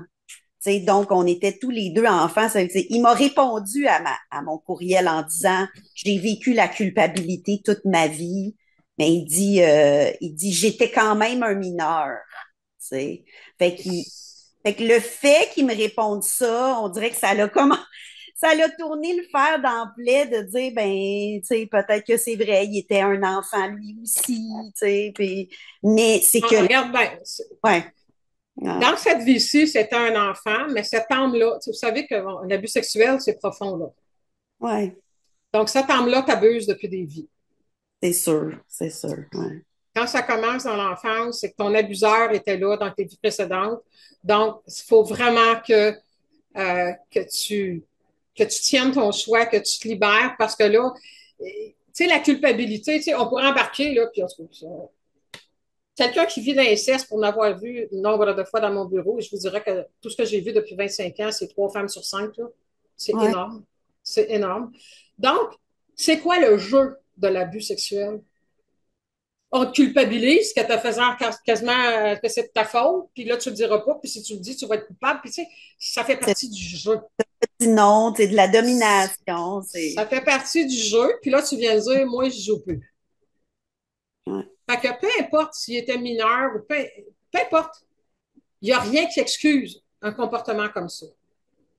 non non Donc, pardonner à quelqu'un, c'est cesser d'y en vouloir parce que si tu en veux puis tu as de la rancune, c'est toi qui vas porter cette énergie toxique à l'intérieur de toi. ben c'est C'est ça un, c'est un cheminement, c'est pas facile à faire, de dire j'y en veux plus.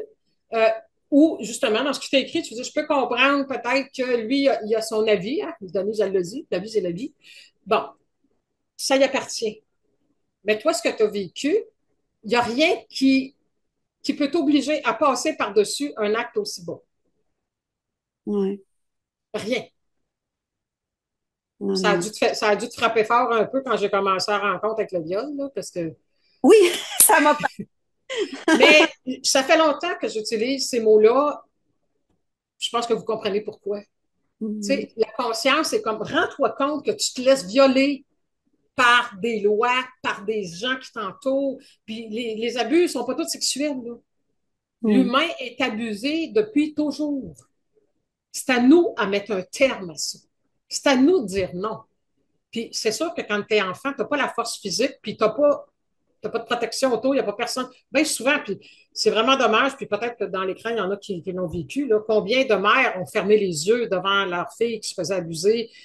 Pourquoi? Ben, c'était par la peur. Ça n'excuse pas le comportement, mais reste que la personne qui a vécu l'inceste, euh, tu sais, a brillé par sa mère, aujourd'hui, elle vit avec d'énormes séquelles. D'énormes séquelles dans tous ses comportements qui n'ont rien à voir avec la sexualité. L'abus, c'est l'abus.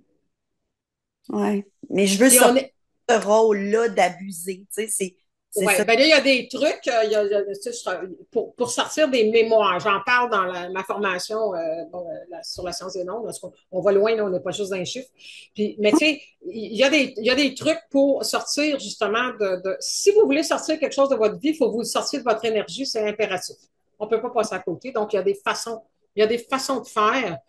Euh, je pourrais peut-être faire même un webinaire là, avec tous les trucs et la, la façon de le faire. Tout part de nous et il faut travailler à l'intérieur de soi pour changer ça. Donc, euh, tu sais, c'est c'est très important de, de- Mais c'est un cheminement. Là, c'est sûr que tu te sens coupable, mais ça, ça fait partie de la game. là. Tu sais, ça fait Parce que c'est tout ce qu'on t'a dit, puis ce qu'on dit encore à l'extérieur pour te faire sentir comme pas correct. Exact. Mais, tu sais, non, il n'y a rien de pas correct dans ce que tu fais. C'est juste que ça leur enlève leur pouvoir. Puis, qui sait, hein, peut-être que ta mère, je ne la juge pas, je ne la condamne pas, mais dans une autre vie, elle était justement en train d'abrier les actions de quelqu'un. Tu sais, l'histoire se poursuit de vie en vie dans des costumes, des rôles différents. Mhm. Donc, la game continue à se jouer tant et aussi longtemps qu'on ne met pas un terme à ce qui nous fait du mal, du tort et qui nous baisse de fréquence. C'est à nous d'accepter ça. Denise l'a fait la semaine passée. Moi, je l'ai fait deux fois la semaine passée. J'ai mis un stop au clapet de gens qui me parlaient de façon. J'étais comme, pourquoi il a dit ça? Je ne comprenais même pas pourquoi la personne parlait de cette façon-là. J'ai décidé, là, j'avance aussi encore, que ce n'était pas nécessaire que je comprenne, mais il était nécessaire que je mette un terme à ça. Puis j'ai pas dit, ah ben là, tu dis ça, mais c'est pas vrai. moi, je n'embarque pas. Ça, c'est une game d'ego. Ça, c'est une game d'ego. J'ai juste dit, je n'accepte pas et je n'ai pas aimé l'interaction qu'on a eue. Ça m'a fait réfléchir et j'ai décidé que je tournais la page. À l'avenir, il n'y aura plus de collaboration. Mm. C'est tout. C'est tout. Puis la je peux-tu rebondir à Marie-Noël de façon à ce que la. Bien sûr, ma chère, on est là pour ça. Vas-y. Deux petites minutes, je ne veux pas prendre le temps de Josie. Euh, souvent, les, les, parents, parce que moi aussi, je suis d'un enfant qui a été abusé très, très jeune, même un viol, et c'était pas la culpabilité, parce que j'en ai parlé avec ma mère, puis c'était pas la culpabilité qu'elle avait, elle, c'était la honte de dire qu'elle avait eu ça, puis qu'elle l'avait pas regardé. L'espèce d'honte toxique, qui, tient dans les secrets de la, de la famille. Fait que c'est pas nécessairement toujours la culpabilité, parce que souvent, ces gens-là vont mettre la tête dans le, dans le sable en disant oh, non, non, c'est correct, il n'y a pas de problème. Mais c'est cette honte-là qui transporte par rapport à, au, à l'acte qui s'est passé à ce niveau-là. Mais peu importe, peu importe les raisons. Peu importe, je ne sais pas, que ce soit la honte ou que ça s'est toujours pas, veut pas le dire, puis tout ça, peu importe. Il n'y a rien qui justifie qu'on abuse de qui que ce soit. Rien ne se justifie.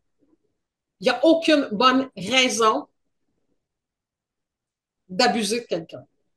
De toutes les façons, y compris nos gouvernements. Il n'y a rien qui justifie ce qu'ils ont fait, puis qu'ils font depuis toujours. Il n'y a rien qui justifie ce que les religions ont fait, d'obliger les femmes d'avoir 23 enfants dans leur vie. Il n'y a rien qui justifie que tu obliges quelqu'un à faire quelque chose qu'il ne veut pas. Rien du tout. Le Créateur nous a créés libres. Donc, à nous de reprendre cette liberté. On ne peut pas dire à l'autre, laisse-moi ma liberté. Une liberté, je l'ai dit dans le temps des dernières années que vous savez tout ce qu'on a vécu. J'étais comme, me sentais un petit peu tout seul dans mon message. Une liberté, ça se quémande pas. Ça se prend, puis ça s'assume. Non. T'arrêtes là. C'est tout. C'est non. Tu n'as pas besoin de crier. C'est non. Puis tu barres tes dents. Non. Ouais, mais c'est parce que c'est non. Ouais, mais c'est parce que c'est non. C'est non. Amène-moi pas sur ce terrain-là. Si ta mère t'en parle, ramène-moi pas sur ce terrain-là. Tout est dit. La décision est prise. Puis, mais recommence pas à y expliquer à chaque fois que. Parce que tu vas expliquer pendant dix ans. Quand je dis qu'il faut agir, c'est ça que je veux dire. On en a parlé, ma décision est prise, parle-moi plus de ça. Puis là, ouais, mais c'est parce que, écoute, on n'en parle plus, puis si la prochaine fois, si tu m'en parles, je raccroche ou je m'envoie, fais-le une fois. J'ai conseillé ça avec des gens. Là. Si quelqu'un s'acharne sur toi, peu importe, je prends ton exemple, mais ça peut être n'importe quoi, mm-hmm. puis que ça fait 50 000 fois, là, tu, je fais comme les, on exagère tout le temps, là, que tu dis à quelqu'un d'arrêter quelque chose, puis que la personne, elle l'arrête pas, ben, elle n'arrêtera jamais parce qu'elle est habituée que tu te la demandes, puis que tu dis d'arrêter, puis qu'elle continue, puis tu fais rien. Elle est habituée. C'est le mode de fonctionnement, c'est la game qui se joue entre les deux. Fait que là, je dis, avertis la personne, dans un temps autre. Je veux dire, écoute, je vais te parler de quelque chose. Pas pendant que tu es en crise, là, puis que les deux. Je vais te parler quelque chose. On n'est pas d'accord sur ce sujet-là, ou tu as tel comportement. J'ai eu une dame, euh, bon, euh, j'ai bien, des années, une cliente, elle me disait, ma mère, euh, elle, était, elle s'occupait de sa mère beaucoup, un peu comme, je ne sais pas qui, là, tantôt, qui faisait beaucoup, Daniel, je pense. je ne sais pas trop. Non, c'est Joanne. En tout cas, peu importe. Elle s'occupait de sa mère, elle faisait tout pour sa mère, elle allait voir sa mère, puis ça, puis sa mère, à chaque fois qu'elle allait, elle la critiquait, elle la condamnait, elle tapait sa tête, tu sais, elle était dans ses croyances, puis elle se laissait faire tout le temps, puis elle disait, j'ai beau y dire, j'ai beau y expliquer. Je dis, là, tu vas arrêter d'expliquer. Je vais te dire, qu'est-ce que tu peux faire? Essaye, tu verras si ça marche. Fait que là, je dis, quand tu vas arriver, attends pas qu'elle commence à critiquer, tu vas dire, écoute, je vais t'expliquer quelque chose. Moi, je fais du mieux que je peux pour toi. Je fais tout ce que je peux. Je viens de voir quand je peux. Puis, si elle dit, ouais, est-ce que je peux terminer de parler? Là, je n'aime pas la façon dont tu me traites. J'aime pas la façon dont tu me parles. Tu passes ton temps à me critiquer et je n'aime pas ça. Que là, il va falloir que ça cesse. Et Denise a dit ça tantôt aussi. Fait que là, je, dis à la personne, si tu ne peux pas arrêter, ben, je, vais devoir passer à l'action. Fait que là, je dis, tu la menaces pas. moi, je, moi, je dis, menace-la pas, mais agis. Fait que là, la prochaine fois que tu, lui expliques tout ça, tu dis, j'accepterai plus ça. Mais tu lui dis pas ce que tu vas faire. La prochaine fois que tu y vas, puis qu'elle te critique, qu'elle parle, je dis, tu l'avais avisé que la prochaine fois, tu vas, tu vas juste t'en aller, puis tu vas la laisser dans ses affaires. Fait que là, quand tu vas y aller la prochaine fois, puis qu'elle va partir, tu prends ton manteau, puis c'est dit, OK, tu n'as pas l'air d'être dans, dans, une belle énergie face à moi, fait que j'en reviendrai. J'en suis là. Pas, moi, c'est ça, je m'en vais là, c'est comme, OK, tu n'as pas l'air d'être dans une bonne, une saine énergie envers moi. J'apprécie pas que tu me parles de cette façon-là. Fait que sais-tu, je repasserai un autre jour. Bye bye, passe une belle journée. Mm. Gentil. Parce que c'est pas, ah ah, je m'en vais. Parce que là, tu sais, tu embarques dans un autre gang j'accepte pas ça. J'aime pas la façon dont tu me parles. Ça me fait mal en dedans. Fait que je repasserai dans un temps où tu seras mieux disposé face à moi. Bye bye. Puis là, si elle court après, puis qu'elle fait Ouais, non, mais ce que j'avais oublié, tu sais, je suis pas habituée. Pas de souci, on se reprend une prochaine fois. Tu continues. Tu, tu, Trois, quatre fois, si la personne tient à la relation avec toi, elle se place. Ou elle s'en va. C'est pas là. C'est pas là. Oui, Daniel, vas-y. Oui, Marie-Noël, euh, est-ce que tu aimes écrire? J'essaie, j'essaie, mais euh, c'est pas un moyen que j'utilise beaucoup. Euh, je fais beaucoup, par contre, les bonhommes allumettes, là, que... Oui. Ouais. De Martel, oui. Oui, ça, j'essaie d'en faire beaucoup, mais oui, on m'a déjà dit que ça serait bon que j'écrive plus, là. Oui, vraiment écrire tellement spontanément ce que tu vis, te permettre d'écrire tout, tout, tout, ce que tu vis, puis de, de, de t'aimer, de mm. t'écrire une lettre d'amour pour toi-même, pour tout ce que tu es, ce que tu as envie de vivre aussi. Alors. Oui, c'est beau. Oui. Oui, on a de la misère à se donner de l'amour. oui, c'est ça, donner de l'amour. Beaucoup, beaucoup. Oui. On n'a pas appris. On, souhaite plein, plein, plein. Je me fais souvent dire que je suis égoïste par ma famille natale. Fait que c'est ça. Mais égal, là, j'apprends Ça, c'est les, ça, c'est les munitions pour te garder à ta place dans laquelle, de soumission dans laquelle tu es depuis des vies. Meilleur moyen de dire à quelqu'un qui, qui, tu sais, tu dis qui est égoïste, qui sait qu'il veut être égoïste, fait que tu plies. Faut que tu acceptes. Ça fait partie de la game, là. Faut que tu acceptes on m'a dit, moi j'ai fait bien des affaires dans ma vie, euh, j'aurais bien du fun à ce que je vous raconte toutes mes expériences. J'ai vécu quelque chose à un moment donné par rapport à une relation avec mon fils, puis j'avais quelqu'un qui m'accompagnait. Des fois, on a besoin de, quelqu'un qui nous accompagne, puis qui m'a dit, écoute, dans cette situation-là, tu as deux choix. Ou tu portes le chapeau de la bonne mère, c'est-à-dire que tu plies à tout ce que la société veut, dit et fait, ou tu acceptes de mettre sur ta tête le chapeau de la mauvaise mère, puis tu fais ce que tu sais très bien que tu dois faire en fonction de ton âme et celle de ton fils.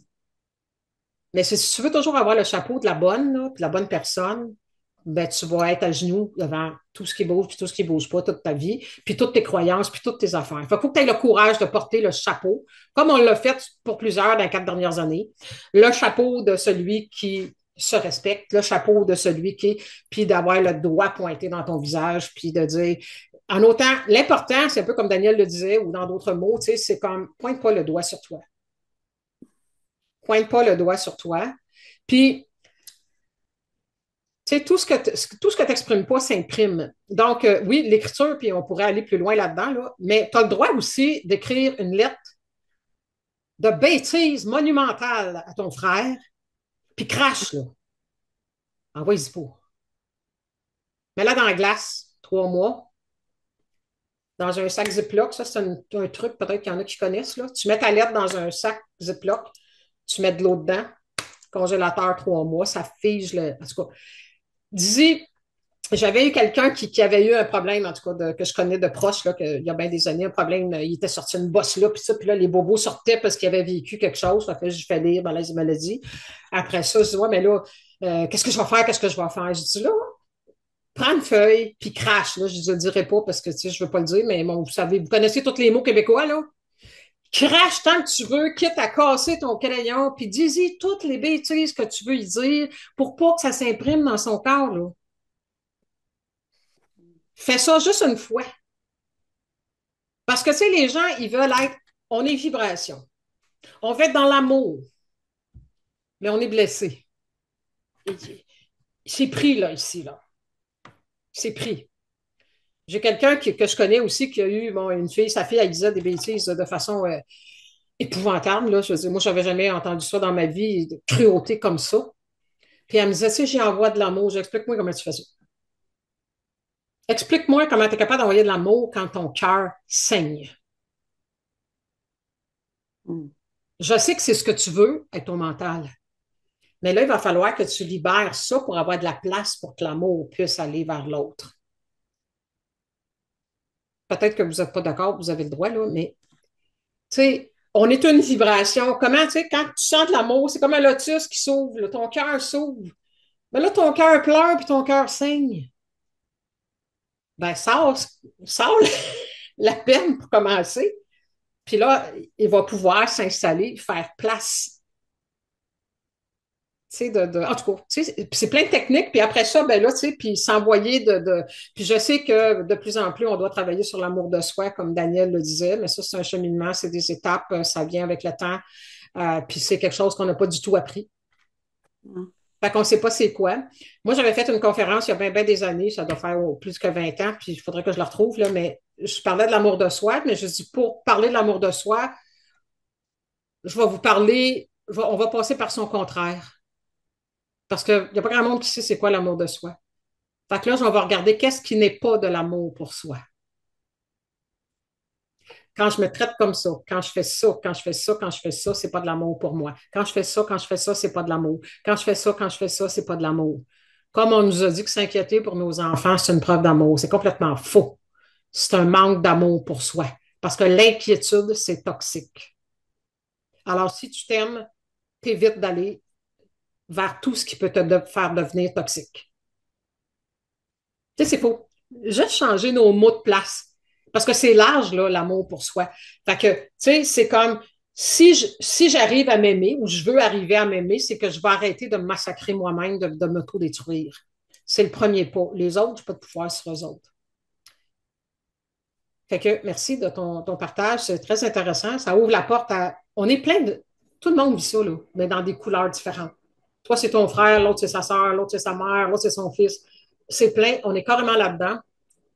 Je vous avais montré, j'ai une image ici. Là, euh, juste savoir, après trois mois de congélation, on fait quoi avec la lettre?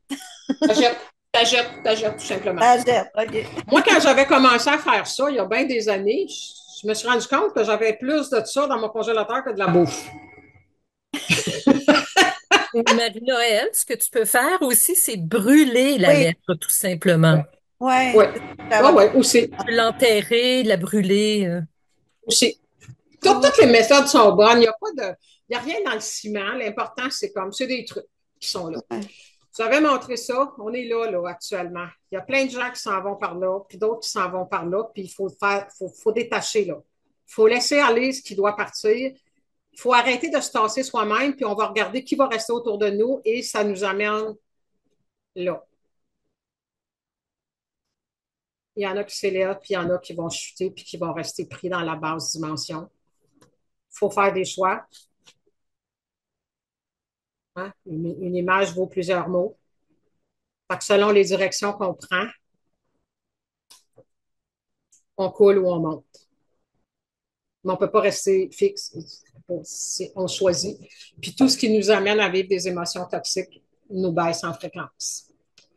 Josie, on ne te voit pas. Ça serait le fun de te voir. Vas-y, la parole est à toi.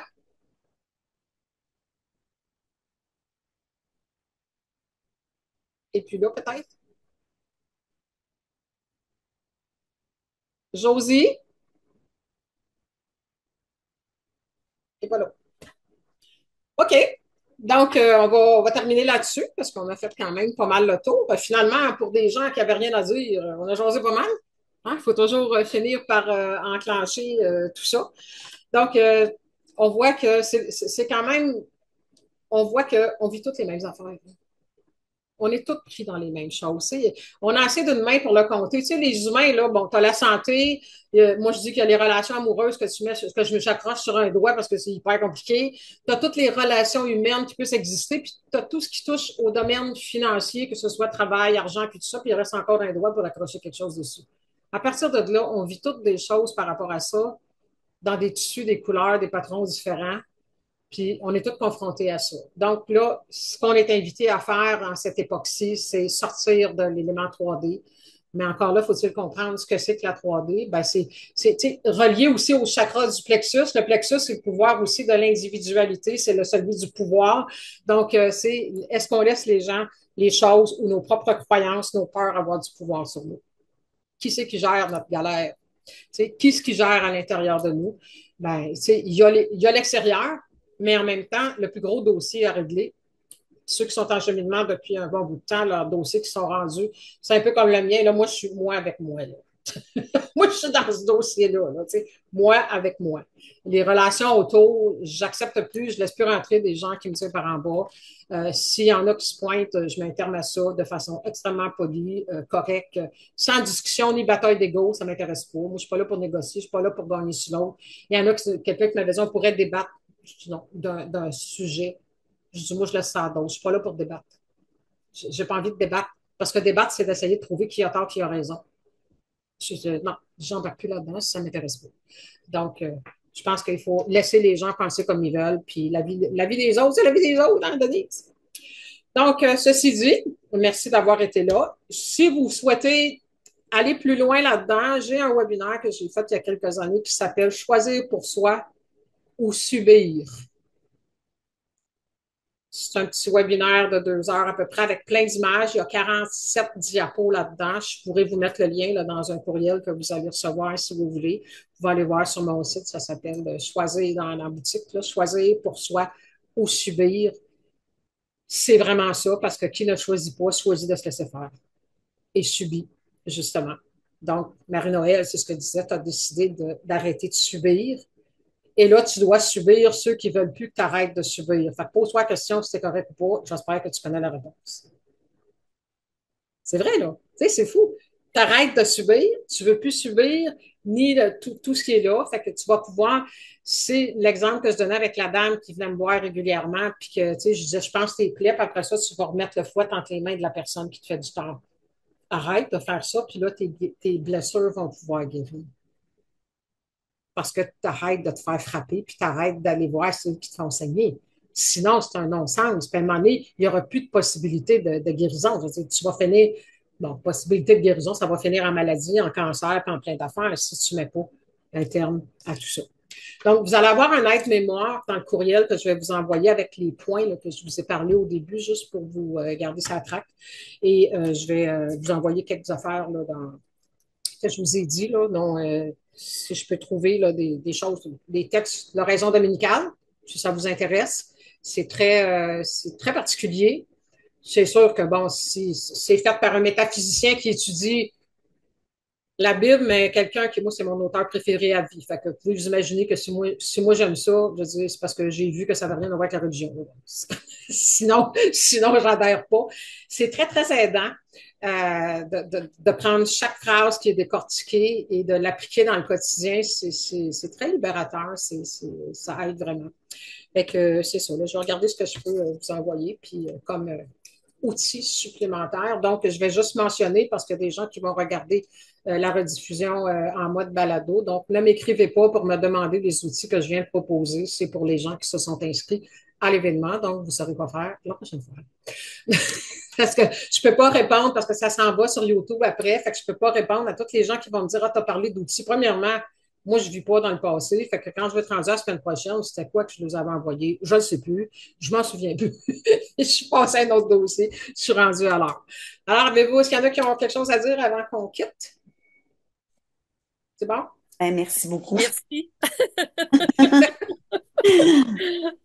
Merci merci beaucoup. à tout le monde merci. que, merci d'avoir été là. Puis euh, si vous aimez, bon, on va continuer. hein. J'arriverai avec un autre thème. Si vous avez des idées de thèmes, envoyez-moi un coucou. Tu sais, de choses qui peuvent évidemment euh, parler à tout le monde. Tu sais, d'aller, euh, je pense que moi, j'avais comme trouvé, j'y vais avec ça. Vous savez, la première rencontre qu'on a faite, d'ailleurs, est sur YouTube, si vous ne l'avez pas vue, c'était la vision.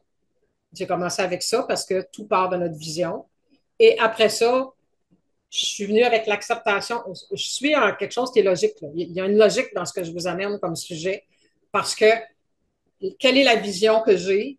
Puis après ça, l'acceptation. Donc, si tu n'acceptes pas des choses, retourne voir ta vision ouais, c'est ça.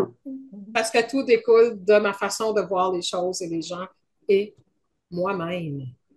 Donc, je vais reprendre ma petite phrase. Peut-être que je pourrais en faire une petite phrase de fin régulière comme je faisais il y a bien des années. Le plus important, malgré toutes les belles connaissances qu'on a, toutes les belles intentions qu'on a, c'est rappelons-nous de demeurer qui on est et qui on veut être quand on est entouré de ce qu'on n'est pas. C'est là qu'on est en train de voir à quel point notre degré d'évolution est, inté- est int- est intégré. C'est intégré. C'est beau d'avoir des connaissances dans sa tête, mais si j'agis pas, puis je suis pas capable de me, dé- de, de- de me défaire des relations qui, qui me rendent malade, si je suis pas capable de faire ça, de faire ça, c'est juste une belle bibliothèque bien pleine dans notre tête. Ça fait des années que je dis ça, puis mais si j'ai pas ouvert un livre dedans, puis j'ai rien intégré, ça donne rien. Ça marche? Oui. Fait que, Oui. Au revoir. À la prochaine. Merci. Bye. Au revoir. Merci beaucoup à tout le monde. Bonjour tout le monde. Et merci.